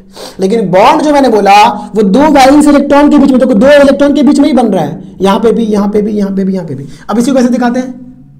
ठीक है? अब बेटा इसको ना इलेक्ट्रॉन डॉट क्रॉस स्ट्रक्चर ही बोलते हैं। क्योंकि देखो इलेक्ट्रॉन को मैंने क्रॉस से यहाँ पे दिखाया। तो इलेक्ट्रॉन डॉट क्रॉस स्ट्रक्चर के नाम से भी इसको बोलते हैं। क्योंकि क्रॉस से दिखाओगे तो क्रॉस बोलोगे। इलेक्ट्रॉन को आप डॉट से भी दिखा सकते हो क्रॉस से भी दिखा सकते हो, कोई लेना देना नहीं। ठीक है? आपको चाहिए तो डॉट से दिखाना चाहिए तो क्रॉस से दिखाना। मैं ऐसे भी दिखा सकता हूँ इसको, ये डॉट ये डॉट ये डॉट ये डॉट ये डॉट ये डॉट ये डॉट ये डॉट यहाँ पे क्या आ गया? एच यहाँ पे आ गया एच यहाँ पे आ गया एच यहाँ पे आ गया एच ये गया हमारा electron dot structure electron dot structure अब इसी को मैं क्या कर दूँ? ऐसा कर दूँ, है ना? ये दोनों को ऐसा खींच दूँ। यहाँ पे यहाँ पे यहाँ पे, ये हाइड्रोजन ये हाइड्रोजन ये हाइड्रोजन ये हाइड्रोजन तब ये क्या हो जाएगा? जल्दी बताइए। लाइन स्ट्रक्चर क्या बोलूँगा इसको? लाइन स्ट्रक्चर लाइन स्ट्रक्चर चलिए बताइए, यहाँ पे कितने कोवैलेंट बॉन्ड है? ये दोनों मिलके एक बॉन्ड ये दोनों मिलके एक बॉन्ड ये दोनों मिलके एक बॉन्ड अब शेयर्ड पेयर ऑफ़ इलेक्ट्रॉन एक जोड़ा इलेक्ट्रॉन जो शेयरिंग में पार्ट ले लिया है, वो क्या कहलाता है? बॉन्ड ये एक बॉन्ड ये एक बॉन्ड ये एक बॉन्ड ये एक बॉन्ड है ना? तो एक, दो, तीन, चार, कितने बॉन्ड इसमें चार कोवेलेंट बॉन्ड तो अगर कोई पूछे कि भाई सी एच फोर में कितने कोवेलेंट बॉन्ड होते हैं तो आप क्या बोलोगे? फोर कोवेलेंट बॉन्ड होते हैं। वन टू थ्री फोर कितने कोवेलेंट बॉन्ड फोर कोवेलेंट आया समझ में? कार्बन ने कौन सा रास्ता अपनाया? शेयरिंग का, मांडोली का, कि चलो मांडोली करें। याद रखिएगा कार्बन का एक ही नारा। क्या नारा? आओ आओ, मांडोली करें। आओ आओ मांडोली करें क्या? कार्बन का? कार्बन का एक ही नारा। क्या? आओ आओ मांडोली करें आओ आओ मांडोली करें है ना? आओ आओ शेयरिंग करें शेयरिंग करें। है ना? मांडोली या शेयरिंग जो बोल रहे यार। मतलब वो शेयरिंग करते हैं इलेक्ट्रॉन की। अच्छा सर, बहुत अच्छा समझ गया अच्छे से। समझ गया बच्चों? बहुत बढ़िया बहुत बढ़िया। चलिए एन एस थ्री का करते हैं। ये फालतू चीज़ों को मिटा देते हैं। बहुत काम खत्म हो गया इसका। सर, फालतू मत बोलो। है ना? सब काम की बात तो आपने बताई। अच्छा। चलो ठीक है ठीक है ठीक है एन एच थ्री ये नाइट्रोजन ले लेता हूँ। आप मुझे हेल्प कीजिए, बताइए। नाइट्रोजन ले लिया हमने। एटॉमिक नंबर क्या होता है? सर इसका नाइट्रोजन का सेवन होता है। यहाँ पे लिखिए नाइट्रोजन का सेवन होता है। ठीक है। Electronic configuration sir two comma five तो बताओ, कितने डॉट लगाऊँ? इलेक्ट्रॉन कितने लगाऊँ? Sir five valence electron five है। One two three four five कहीं भी तुम लास्ट ऐसा कुछ नहीं है कि जैसे मैं यहाँ पे डाल रहा हूँ तो वहीं पे डालोगे। तुम्हारी मर्ज़ी, तुम यहाँ दो डाल दो, कोई दिक्कत नहीं। ठीक है? अब हाइड्रोजन कितने हैं भाई? थ्री है। आपको बोल दिया गया थ्री है? ठीक है, कहीं भी बना दो। मान लो मैंने एक यहाँ बना दिया, एक यहाँ बना दिया, एक यहाँ बना दिया। भाई किसी का मन करे यहाँ बना देना। कोई प्रॉब्लम नहीं है। कोई प्रॉब्लम नहीं है। ठीक है? ऊपर जगह कम है, नीचे बनाता हूँ हाइड्रोजन ठीक। हाइड्रोजन पे कितने हैं? हाइड्रोजन पे एक है। काम करता हूँ ब्लू से बनाता हूँ। ताकि पहचान हो, ये हाइड्रोजन का है, ये हाइड्रोजन का है। उसको क्रॉस से भी बना सकते हो आप। ठीक है। हाइड्रोजन क्या करना है? सर हाइड्रोजन को करना है डुएट डुप्लेट देखो ना वन टू तो ये ले लिया अपना डुप्लेट इसने भी अपना बना लिया डुप्लेट इसने भी बना लिया अपना डुप्लेट नाइट्रोजन क्या करेगा? नाइट्रोजन क्या करेगा? नाइट्रोजन को ऑक्टेट करना है। तो one two three four five six अगर यहाँ से ऐसा गोला बनाए, ऐसा गोला बनाए तो देखो वन टू बेटा ये भी है ना, ये भी तो इलेक्ट्रॉन है ना, इस सर्कल के अंदर ही है ना one two three four five six six seven eight octet complete लिया। नाइट्रोजन निकल लिया ऑक्टेट और हाइड्रोजन निकल लिया डुप्लेट आओ आओ शेयरिंग करें, आओ आओ, मंडोली करें सर ठीक है? देखो नाइट्रोजन यहाँ पे हाइड्रोजन यहाँ पे हाइड्रोजन याद रखना भाई, बहुत हिसाब से शेयरिंग करना। ठीक है? देखो, यहाँ पे एक बॉन्ड बन गया बच्चों, यहाँ एक बॉन्ड बन गया, यहाँ एक बॉन्ड जो बच गया उसको ऐसे लिख दो ना। है ना? क्लोरीन वाले में भी तो हमने छोड़ दिया था। ये बच गया, इसको ऐसे लिख दो। इसको बोल, इस, ये क्या हो गया? शेयर्ड पेयर ऑफ़ इलेक्ट्रॉन है ना? सिंगल बॉन्ड इसी का तो नाम है single bond shared pair of electron एक इलेक्ट्रॉन शेयर एक जोड़ा इलेक्ट्रॉन शेयर किया। इसका नाम जानना चाहते हो? इसको कभी कभी हम लोग ऐसा दिखाते हैं, ऐसा करके। इसको बोलते हैं lone pair electron lone pair electron मतलब भाई जिसने बॉन्डिंग में पार्टिसिपेट नहीं लिया, जिसने शेयरिंग नहीं की है जो शेयर नहीं करता है ना इलेक्ट्रॉन को, ऐसे ही रखा रखा रहता है, उसको बोल देते हैं लोन पेयर है ना? इस पर लोन है भाई लोन पेयर इलेक्ट्रॉन मतलब शेयरिंग इसने नहीं की है। ठीक है? ठीक। तो भाई, सही से देखना यहाँ पे क्या होने वाला है। यहाँ पे बनने वाला है हमारा कोवेलेंट बॉन्ड उम्मीद करता हूँ आपको कोवेलेंट बॉन्ड बहुत अच्छे समझ में आ रहा होगा बच्चों। यस सर समझ में आ रहा है। थोड़ा थोड़ा और एग्ज़ाम्पल लीजिए। H2O का आपको काम दे रहे हैं। आप कीजिएगा। प्लीज़ आप कर लीजिएगा बच्चों। ये काम मैं आपको सौंप रहा हूँ। स्क्रीनशॉट लो, फटाक से। डन चलो। ठीक है। अब हम ले रहे हैं O2 मॉलिक्यूल के बीच में। O2 मॉलिक्यूल बहुत पॉपुलर है। इससे भी क्वेश्चन आता है O2 मॉलिक्यूल का। देखिए। ये ऑक्सीजन है। ऑक्सीजन है। ठीक है। तो अभी ये दोनों ऑक्सीजन है बच्चों।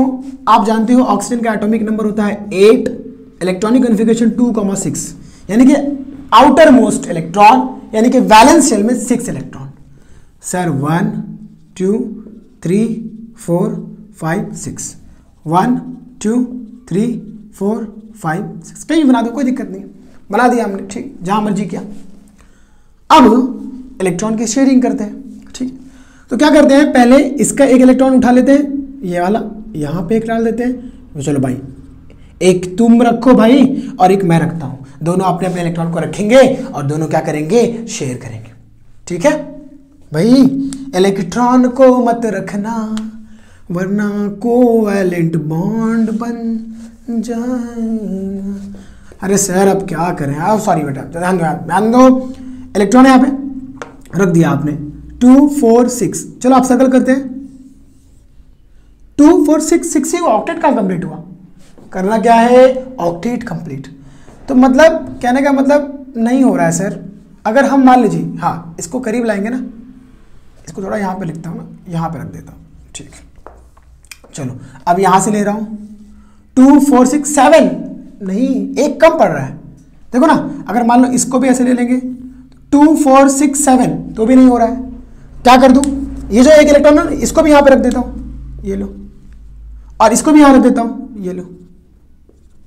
अब देखो तो टू फोर सिक्स एट वाह, इस सर्कल में देखो एट आ गए। टू फोर सिक्स एट इसमें भी टू फोर सिक्स एट देखो ना, ये circle two four six eight आओ आओ शेयरिंग करें, है ना? एक से काम नहीं चला, एक जोड़े इलेक्ट्रॉन से काम नहीं चला, दो जोड़े से शेयर करें। आओ आओ शेयर करें, है ना? क्या हो रहा है भाई? इलेक्ट्रॉन की शेयरिंग हो रही है। तो यहाँ पे ऐसे लिखेंगे हम, इसको एक बॉन्ड इसको एक बॉन्ड तो इसको बोलते हम लोग डबल बॉन्ड ये दोनों यहाँ पे बच गया, ऐसे लिख दो। क्या बोलेंगे इसको? लोन पेर इलेक्ट्रॉन और ये शेयर्ड पे इलेक्ट्रॉन तो यहाँ पे दो दो शेयर हुआ इलेक्ट्रॉन कितने बॉन्ड है? दो बॉन्ड है ना? दो इलेक्ट्रॉन से एक बॉन्ड बनते हैं। तो कितने बॉन्ड है? दो बॉन्ड है, दो बॉन्ड तो इसको बोलते हैं हम लोग डबल बॉन्ड क्या बोलते हैं बच्चों? डबल आया समझ में? नहीं आया? कोई बात नहीं, दूसरा देखते तो समझ में आएगा। अभी एन थ्री मॉलिक्यूल का देखते सॉरी एन टू बेटा एन थ्री लिख दिया मैं। एन टू मॉलिक्यूल का देखते देखो अभी समझ में आएगा। N N N N N N N N two N two ध्यान दीजिए आई नो वक्त ज़्यादा हो रहा है, लेकिन काम की बातें भी ज़्यादा हो रही है। नाइट्रोजन नाइट्रोजन का एटॉमिक नंबर सेवन होता है two comma five valence electron five होता है, इसलिए बोल रहा हूँ, इसलिए बोल रहा हूँ, एटॉमिक नंबर याद होना चाहिए। इलेक्ट्रॉनिक कन्फिग्रेशन समझ में आना चाहिए। इसीलिए 25 मिनट, स्टार्टिंग के 25 मिनट में इलेक्ट्रॉनिक कन्फिग्रेशन समझाया हूँ, दोस्त। एटॉमिक नंबर समझाया हूँ, क्योंकि यहाँ पे वही सब लगने वाला है। पागल नहीं हूँ, सब कुछ वापस से पढ़ाया, इसी को समझाने के लिए पढ़ाया। ध्यान दीजिए, ध्यान। Five five electron. अच्छा sir, five. One, two, three, four, five. One two three four five कहीं भी दे दो, कोई लेना देना नहीं। ठीक है। Yes sir we are ready to go आप मुझे हेल्प कीजिए। चलिए बताइए। क्या करूँ? सर इसने तो एक इलेक्ट्रॉन यहाँ पे रख दिया है। इसको भी बोलो ना एक इलेक्ट्रॉन को रखने के लिए। चलिए, आप भी एक इलेक्ट्रॉन रखिए। मैं भी रखूँगा। दोनों दोनों शेयर करेंगे। आओ आओ शेयर करें। ये चलो, ये वाला रखा ना ये रख देते ये ये रख। ठीक है, रख। सर्कल बनाए? यस सर ये सर्कल बनाया one two three four five six कोशिश करना सर्कल बनाना, अंडा बंडा नहीं बनाने का भाई सर्कल सर्कल कोशिश, पूरा पूरा सर्कल बनाया, कीजिए। हालाँकि कोई दिक्कत नहीं है, लेकिन कोशिश कीजिए कि सर्कल अच्छे से बने प्यारा प्यारा बने तो प्यारा प्यारा मार्क्स भी तो मिलेगा। ठीक है। One two three four five six नहीं हुआ पूरा। अच्छा ये वाला करके देखते हैं। One two three four five six नहीं हो रहा। कम हो रहा। दो कम हो रहा। दो कम हो रहा। एक काम करते हैं, एक यहाँ से ले लेते हैं। चलो, एक और शेयर करें। ये भी बोले, चलो एक और शेयर करें। One two three four five six seven one two three four five six seven देखो ना, ये वाला सर्कल देखो, ऐसा। तुम्हारे समझाने के लिए ना ऐसा बनाता हूँ यार यार। तो ज़्यादा समझेगा। अब इस सर्कल के अंदर देखो one two three four five six seven अब इस वाले के अंदर गिनिए। One two three four five eight बेटा इसके अंदर भी तो आ रहा है ना? सिक्स सेवन सेवन अच्छा तो सेवन ही हो रहे हैं। चलो एक और कर लेते हैं, एक और कर लेते हैं, एक और यहाँ पे कर ये वाला भी यहाँ कर लेते हैं। अब देखिए one two three four five six seven eight वाह सर ऑक्टेट हो गया। One two three four five six seven eight octet मतलब ये एन के बीच में ऐसा बना। एक, ये वाला, ये एक, देखो ना, ये एक ये एक ये एक। तीन बॉन्ड और यहाँ पे एन कितना बच गया? दो बच गया? डाल दो सर पे। दो बच गया भाई, दो बच गया भाई। ठीक है। क्या बोलेंगे इसको? Triple bond three pairs of shared electron तीन जोड़े इलेक्ट्रॉन ने शेयरिंग की। तो ट्रिपल बॉन्ड क्या बोलेंगे इसको? ट्रिपल बॉन्ड ट्रिपल बॉन्ड याद रहेगा बच्चों? ट्रिपल बॉन्ड यस सर याद रहेगा, पक्का याद रहेगा एन टू मॉलिक्यूल ठीक है तो यहाँ पे आपने कोवैलेंट बॉन्ड में देखा कि शेल की ओवरलैपिंग होती है। याद रखिएगा कि शेल की ओवरलैपिंग होती है। सेल की ओवरलैपिंग होती है। और कार्बन और कार्बन की अगर आपस में ओवरलैपिंग होती है शेल की तो बॉन्डिंग थोड़ी मज़बूत हो जाती है। ठीक है? तो समझ में आया भाई? शेल की क्या हो गई? ओवरलैपिंग हो गई। यस सर समझ में आ गया। एन टू का कर लिया ओ टू का कर लिया। चलो, एक और दो। सी टू एच टू थोड़ा सा कठिन है। वो करते हैं। चलो सर करो ना। हम रेडी हैं। ओके बच्चा, मैं भी रेडी हूँ। I am always ready for you आपके लिए ही तो हूँ बच्चों में। Yes sir C two H two का देखते हैं। देखते हैं ना, कोई दिक्कत नहीं। कार्बन का एटॉमिक नंबर सर सिक्स होता है टू कॉमा फोर हाइड्रोजन का वन होता है सर पता हो गया। चलिए C two H two sir H यहीं पे क्यों लिखा? नीचे भी लिख सकते हैं, कोई दिक्कत नहीं है, बच्चों, बस लिख दिया। कहीं भी लिख दो, आप कोई दिक्कत नहीं है। ठीक है। सर कार्बन पे फोर होते हैं। One two three four one two three four hydrogen पे वन वन ठीक है। हाइड्रोजन डुप्लेट करेगा? Yes sir one two duplet one two duplet carbon क्या करेगा बच्चों? ऑक्टेट करेगा। तो ये वन टू है। Three, four, five. फाइव ही हुआ। थ्री और चाहिए, sir. Three, four, five. Six, seven, eight. देखो ना, अगर ये भी मिल गया तो एट हो जाएगा। अच्छा। चलो। One one, two, three, four, five, six, seven, eight. तो एक काम करते हैं, ये कार्बन कार्बन। कार्बन बोल रहा है भाई, ये सामने रखो। ये भी बोल रहा है भाई, ये भी सामने रखो। ठीक है। अब देखिए, ये यहाँ से लेंगे और ये हो गया octet one, two, three, four, five, six, seven, eight. कितना आसान है? डराने के लिए दे देते यार। One two three four five six seven eight ये भी, देखो, कर लिया कंप्लीट देखो ना, इस कार्बन ने भी ऑक्टेट कंप्लीट किया, इस कार्बन ने भी ऑक्टेट कंप्लीट किया, और इस हाइड्रोजन ने डुएट कंप्लीट किया। यानी कि यहाँ पे कैसा बॉन्ड बना? सिंगल ठीक है? यहाँ पे कैसा बना? देखो, ये एक बॉन्ड ये एक बॉन्ड ये एक बॉन्ड ट्रिपल बॉन्ड कार्बन के बीच में। यहाँ पे फिर सिंगल बॉन्ड और ये हमारा हो गया लाइन स्ट्रक्चर और ये हमारा हो गया इलेक्ट्रॉन डॉट स्ट्रक्चर दोनों हमने बना दिया इथिन का। इस तरह और भी मॉलिक्यूल्स बच्चों पूछे जाएँगे तो प्लीज़ आप कर लीजिएगा। आई उम्मीद करता हूँ मैं आई होप कि आप कर लीजिएगा इंशाल्लाह। चलिए, अब हम बच्चों बात करेंगे कोवैलेंट कंपाउंड की। कोवैलेंट बॉन्ड आपको समझ गया? अब हम बात करने जा रहे हैं कोवैलेंट कंपाउंड की। किसकी? कोवैलेंट कंपाउंड की। देखिए, अब सर ये कोवैलेंट कंपाउंड क्या होते हैं? कोवैलेंट मार्कर चलना बंद कर दिया भाई, इतनी जल्दी। गड़बड़ हो जाएगी। कोवैलेंट कंपाउंड अच्छा। अरे यार, मुझे रेड पेन यूज़ करना चाहिए था ना। अच्छा दिखता है, लाल लाल लाल लाल। खैर, जाने दीजिए। कोवैलेंट कंपाउंड कोवैलेंट कंपाउंड मतलब ऐसा कंपाउंड जो कोवैलेंट बॉन्ड से बना है। The compound which is formed by the compound which is formed by which is formed by covalent bond ऐसा कंपाउंड जो कोवैलेंट बॉन्ड से बने, उसको क्या बोलते हैं हम लोग? कोवैलेंट कंपाउंड अब याद रखिएगा बच्चों कोवैलेंट कंपाउंड की प्रॉपर्टीज़ बहुत इंपॉर्टेंट है। जिस तरह हमने मेटल्स एंड नॉन मेटल्स में आयोनिक कंपाउंड की प्रॉपर्टी देखी थी। हमने देखा था कि आयोनिक कंपाउंड जो होते हैं, मैं यहाँ पे एक जगह आयोनिक लिख रहा हूँ और एक तरफ़ कोवैलेंट लिख रहा हूँ। दोनों में डिफरेंस भी आ सकता है, ठीक है। आयोनिक कंपाउंड जो होते हैं, हमने देखा था बच्चों उमूमन सॉलिड स्टेट में होते हैं। अगर हम स्टेट की बात करें स्टेट की बात करें, ये रेस करता हूँ। थोड़ा जगह बनेगा, है कि नहीं? अगर मैं स्टेट की बात करूँ कि स्टेट क्या होगा तो आयनिक हमारे सॉलिड स्टेट में होते हैं, ठीक है? जैसे नमक, है ना? एन अच्छा कोवैलेंट की बात करें तो बच्चों, ये सॉलिड भी होते हैं लिक्विड भी होते हैं और गैस भी होते हैं। ज़्यादातर अगर देखा जाए तो लिक्विड्स एंड गैसियस स्टेट में होते हैं। But some of them are some of them are in solid state in solid state जैसे लिक्विड की बात करें तो लिक्विड में मैं यहाँ पे लिखूँ? यहाँ पे थोड़ा सा जगह बना के। अगर मैं बच्चों लिक्विड की बात करूँ तो लिक्विड में होता है बच्चों, हमारा ईथर हो गया अल्कोहल हो गया, ठीक है? ये सब किसमें होता है? लिक्विड के फॉर्म में होता है। बेंजीन हो गया। और गैस की बात करें तो इथेन देखने वाले हम ये सब क्या है? कंपाउंड है कोवैलेंट कंपाउंड सबके बारे में डिस्कस करेंगे। इथर अल्कोहल इथेन इथेन हो गया मीथेन हो गया। देखो methane gas LPG, liquid petroleum, liquefied petroleum gas, CNG compress natural gas जो है ना, उसमें क्या, मीथेन गैस है, बायोगैस। उसके बाद कुछ सॉलिड होते हैं लाइक आप ले लो नैपथेलिन ले लो ना, सबसे अच्छा एग्जांपल नैपथेलिन सबने देखा भी है तो नैपथेलिन तो सॉलिड भी होता है लिक्विड भी होते हैं गैस भी होते हैं, ठीक है, पहला पॉइंट हो गया। दूसरा, अगर हम बात करें कि भाई, ये जो होते हैं, इनकी मेल्टिंग पॉइंट और बॉइलिंग पॉइंट क्या होती है? तो देखो, अगर मेल्टिंग पॉइंट बॉइलिंग पॉइंट की बात करेंगे बटो बेटा तो मेल्टिंग और बॉइलिंग पॉइंट की बहुत ज़्यादा होती है आयनिक कंपाउंड की बहुत ज़्यादा बहुत ज़्यादा। क्यों? क्योंकि पॉजिटिव और नेगेटिव के बीच में अट्रैक्शन होता है है ना? जैसे एन है ना? N A plus C L minus positive और निगेटिव आयन के बीच में स्ट्रॉन्ग अट्रैक्शन की वजह से इसकी मेल्टिंग पॉइंट बहुत ज़्यादा होती है। ठीक है? जैसे मैं बात करूँ, ये हमारा एन का बेटा तो एन का मेल्टिंग पॉइंट 800 डिग्री सेल्सियस से भी ज़्यादा है। कुछ कंपाउंड का 1400 डिग्री सेल्सियस है।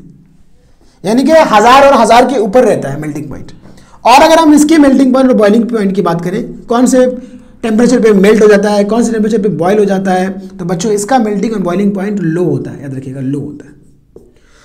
जो भी कार्बन के कंपाउंड्स हैं, वो कोवैलेंट बॉन्ड बनाते हैं और उनका उमूमन 300 डिग्री सेल्सियस से कम रहता है। ठीक है? Lower than 300 degree Celsius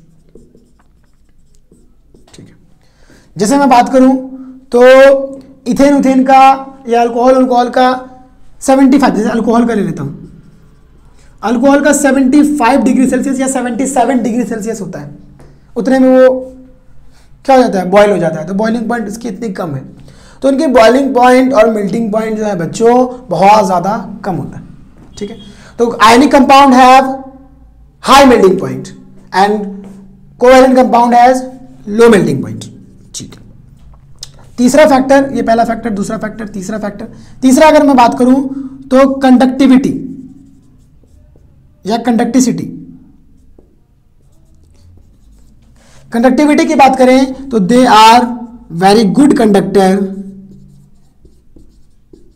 good conductor in liquid state in molten state बोल दो। या एक्वस स्टेट सर, समझा नहीं। समझा रहा हूँ, देखिए। क्योंकि इनमें पहला पॉजिटिव चार्ज और निगेटिव चार्ज होते हैं। तो जैसे ही हम इसको मेल्ट करते हैं, पिघल जाते हैं तो पिघलने के बाद ये आयंस दूर दूर हो जाते हैं। और जब आयंस रहेंगे प्लस चार्ज माइनस चार्ज तो इलेक्ट्रॉन बहने लगेगा। करेक्ट इलेक्ट्रॉन फ्री हो जाएगा तो करंट बहने लगेगा। है ना? तो आयन जहाँ भी आयंस मौजूद रहेंगे, वो गुड कंडक्टर रहेंगे। तो अब भाई, ये गुड कंडक्टर क्यों है? तो आप बोल देना, यहाँ पे आयंस प्रेजेंट है, इसीलिए ये गुड कंडक्टर होते हैं। सॉलिड स्टेट में गुड कंडक्टर नहीं होगा, याद रखना। जब वो पिघला होगा, तब आप नमक का ढेर ले लो। कितना भी ये नमक का ढेर है, यहाँ पे एक वायर लगाओ वहाँ एक वायर लगाओ। ठीक है? यहाँ से वहाँ तक करंट जाएगा ही नहीं। है ना? लेकिन अगर आप उसको लिक्विड स्टेट में कन्वर्ट कर दो मेल्ट कर दो, पिघला दो, या पानी में डाल दो तो भाई उसके आयंस टूट जाएँगे और वो गुड कंडक्टर हो जाएगा। और अगर इसकी बात करें कोवेलेंट की तो भाई ये बैड कंडक्टर होते हैं। ठीक है? जनरली जो हमारे कोवेलेंट कंपाउंड है सीसी आर बैड कंडक्टर अगर कोई पूछे, क्यों भाई? तो आप क्या बोलना? क्योंकि इनमें आयंस जो होते हैं, वो अपसेंट होते हैं। आयंस होते ही नहीं है। है कि नहीं? न्यूट्रल मॉलिक्यूल होते हैं बेचारे। है ना? क्योंकि जो एटम है, वो शेयर करते हैं इलेक्ट्रॉन को। ना लूज करते हैं, ना गेन करते हैं। उन पर कोई चार्ज नहीं आता है तो वो न्यूट्रल रहते हैं। तो आयंस क्या होते हैं? इनके अपसेंट होते हैं। ठीक है। और बात करते हैं। और अगर बात करें बेटा इसकी सॉलिबिलिटी की सॉलिबिलिटी मतलब पानी में घुलते हैं कि नहीं? तो they are soluble in water अरे नमक को देखो ना, पानी में घुलता है कि नहीं? घुल जाता है। They are soluble in water पानी में घुल जाता है। ठीक लेकिन याद रखिएगा, ये इनऑर्गेनिक सॉल्वेंट में नहीं घुलता है। यानी कि केरोसिन में, ठीक है क्लोरोफॉर्म में, ये सब इनऑर्गेनिक ये सब ऑर्गेनिक है इनऑर्गेनिक बोला ऑर्गेनिक है मतलब कार्बन कंपाउंड यानी कि अगर इसको कार्बन कंपाउंड के सॉल्वेंट में डाल दें तो नहीं घुलेगा। They are insoluble in insoluble in organic solvents ठीक है, खैर, इसकी बात करें तो भाई दे आर इनसॉलेबल ये पानी में घुलते ही नहीं है। They are insoluble in water but soluble in soluble in organic solvents देखो ना जस्ट उसका उल्टा। ये पानी में घुलता है, लेकिन ऑर्गेनिक सॉल्वेंट्स में नहीं घुलता है। They are they they are not soluble they are insoluble in organic solvents organic मतलब ऑर्गेनिक का मतलब भी होता है कार्बन ठीक है? कार्बन कंपाउंड को हम लोग ऑर्गेनिक कंपाउंड बोलते हैं डिस्कस करने वाले हैं नेक्स्ट लेक्चर में। ठीक है? मतलब आगे करेंगे इंशाल्लाह। तो ये पानी में घुलेंगे ऑर्गेनिक सॉल्वेंट में नहीं घुलेंगे। ये पानी में नहीं घुलेंगे ऑर्गेनिक सॉल्वेंट में घुलेंगे। जैसे ऑर्गेनिक सॉल्वेंट ले लो। मैंने क्या बोला? ईथर लिक्विड में होता है अल्कोहल होता है ईथर में घुल जाएगा ये। अल्कोहल में घुल जाएगा ये, बेंजीन में घुल जाएगा ये, क्लोरोफॉर्म में घुल जाएगा ये, ठीक है? केरोसिन में लिख लो आप।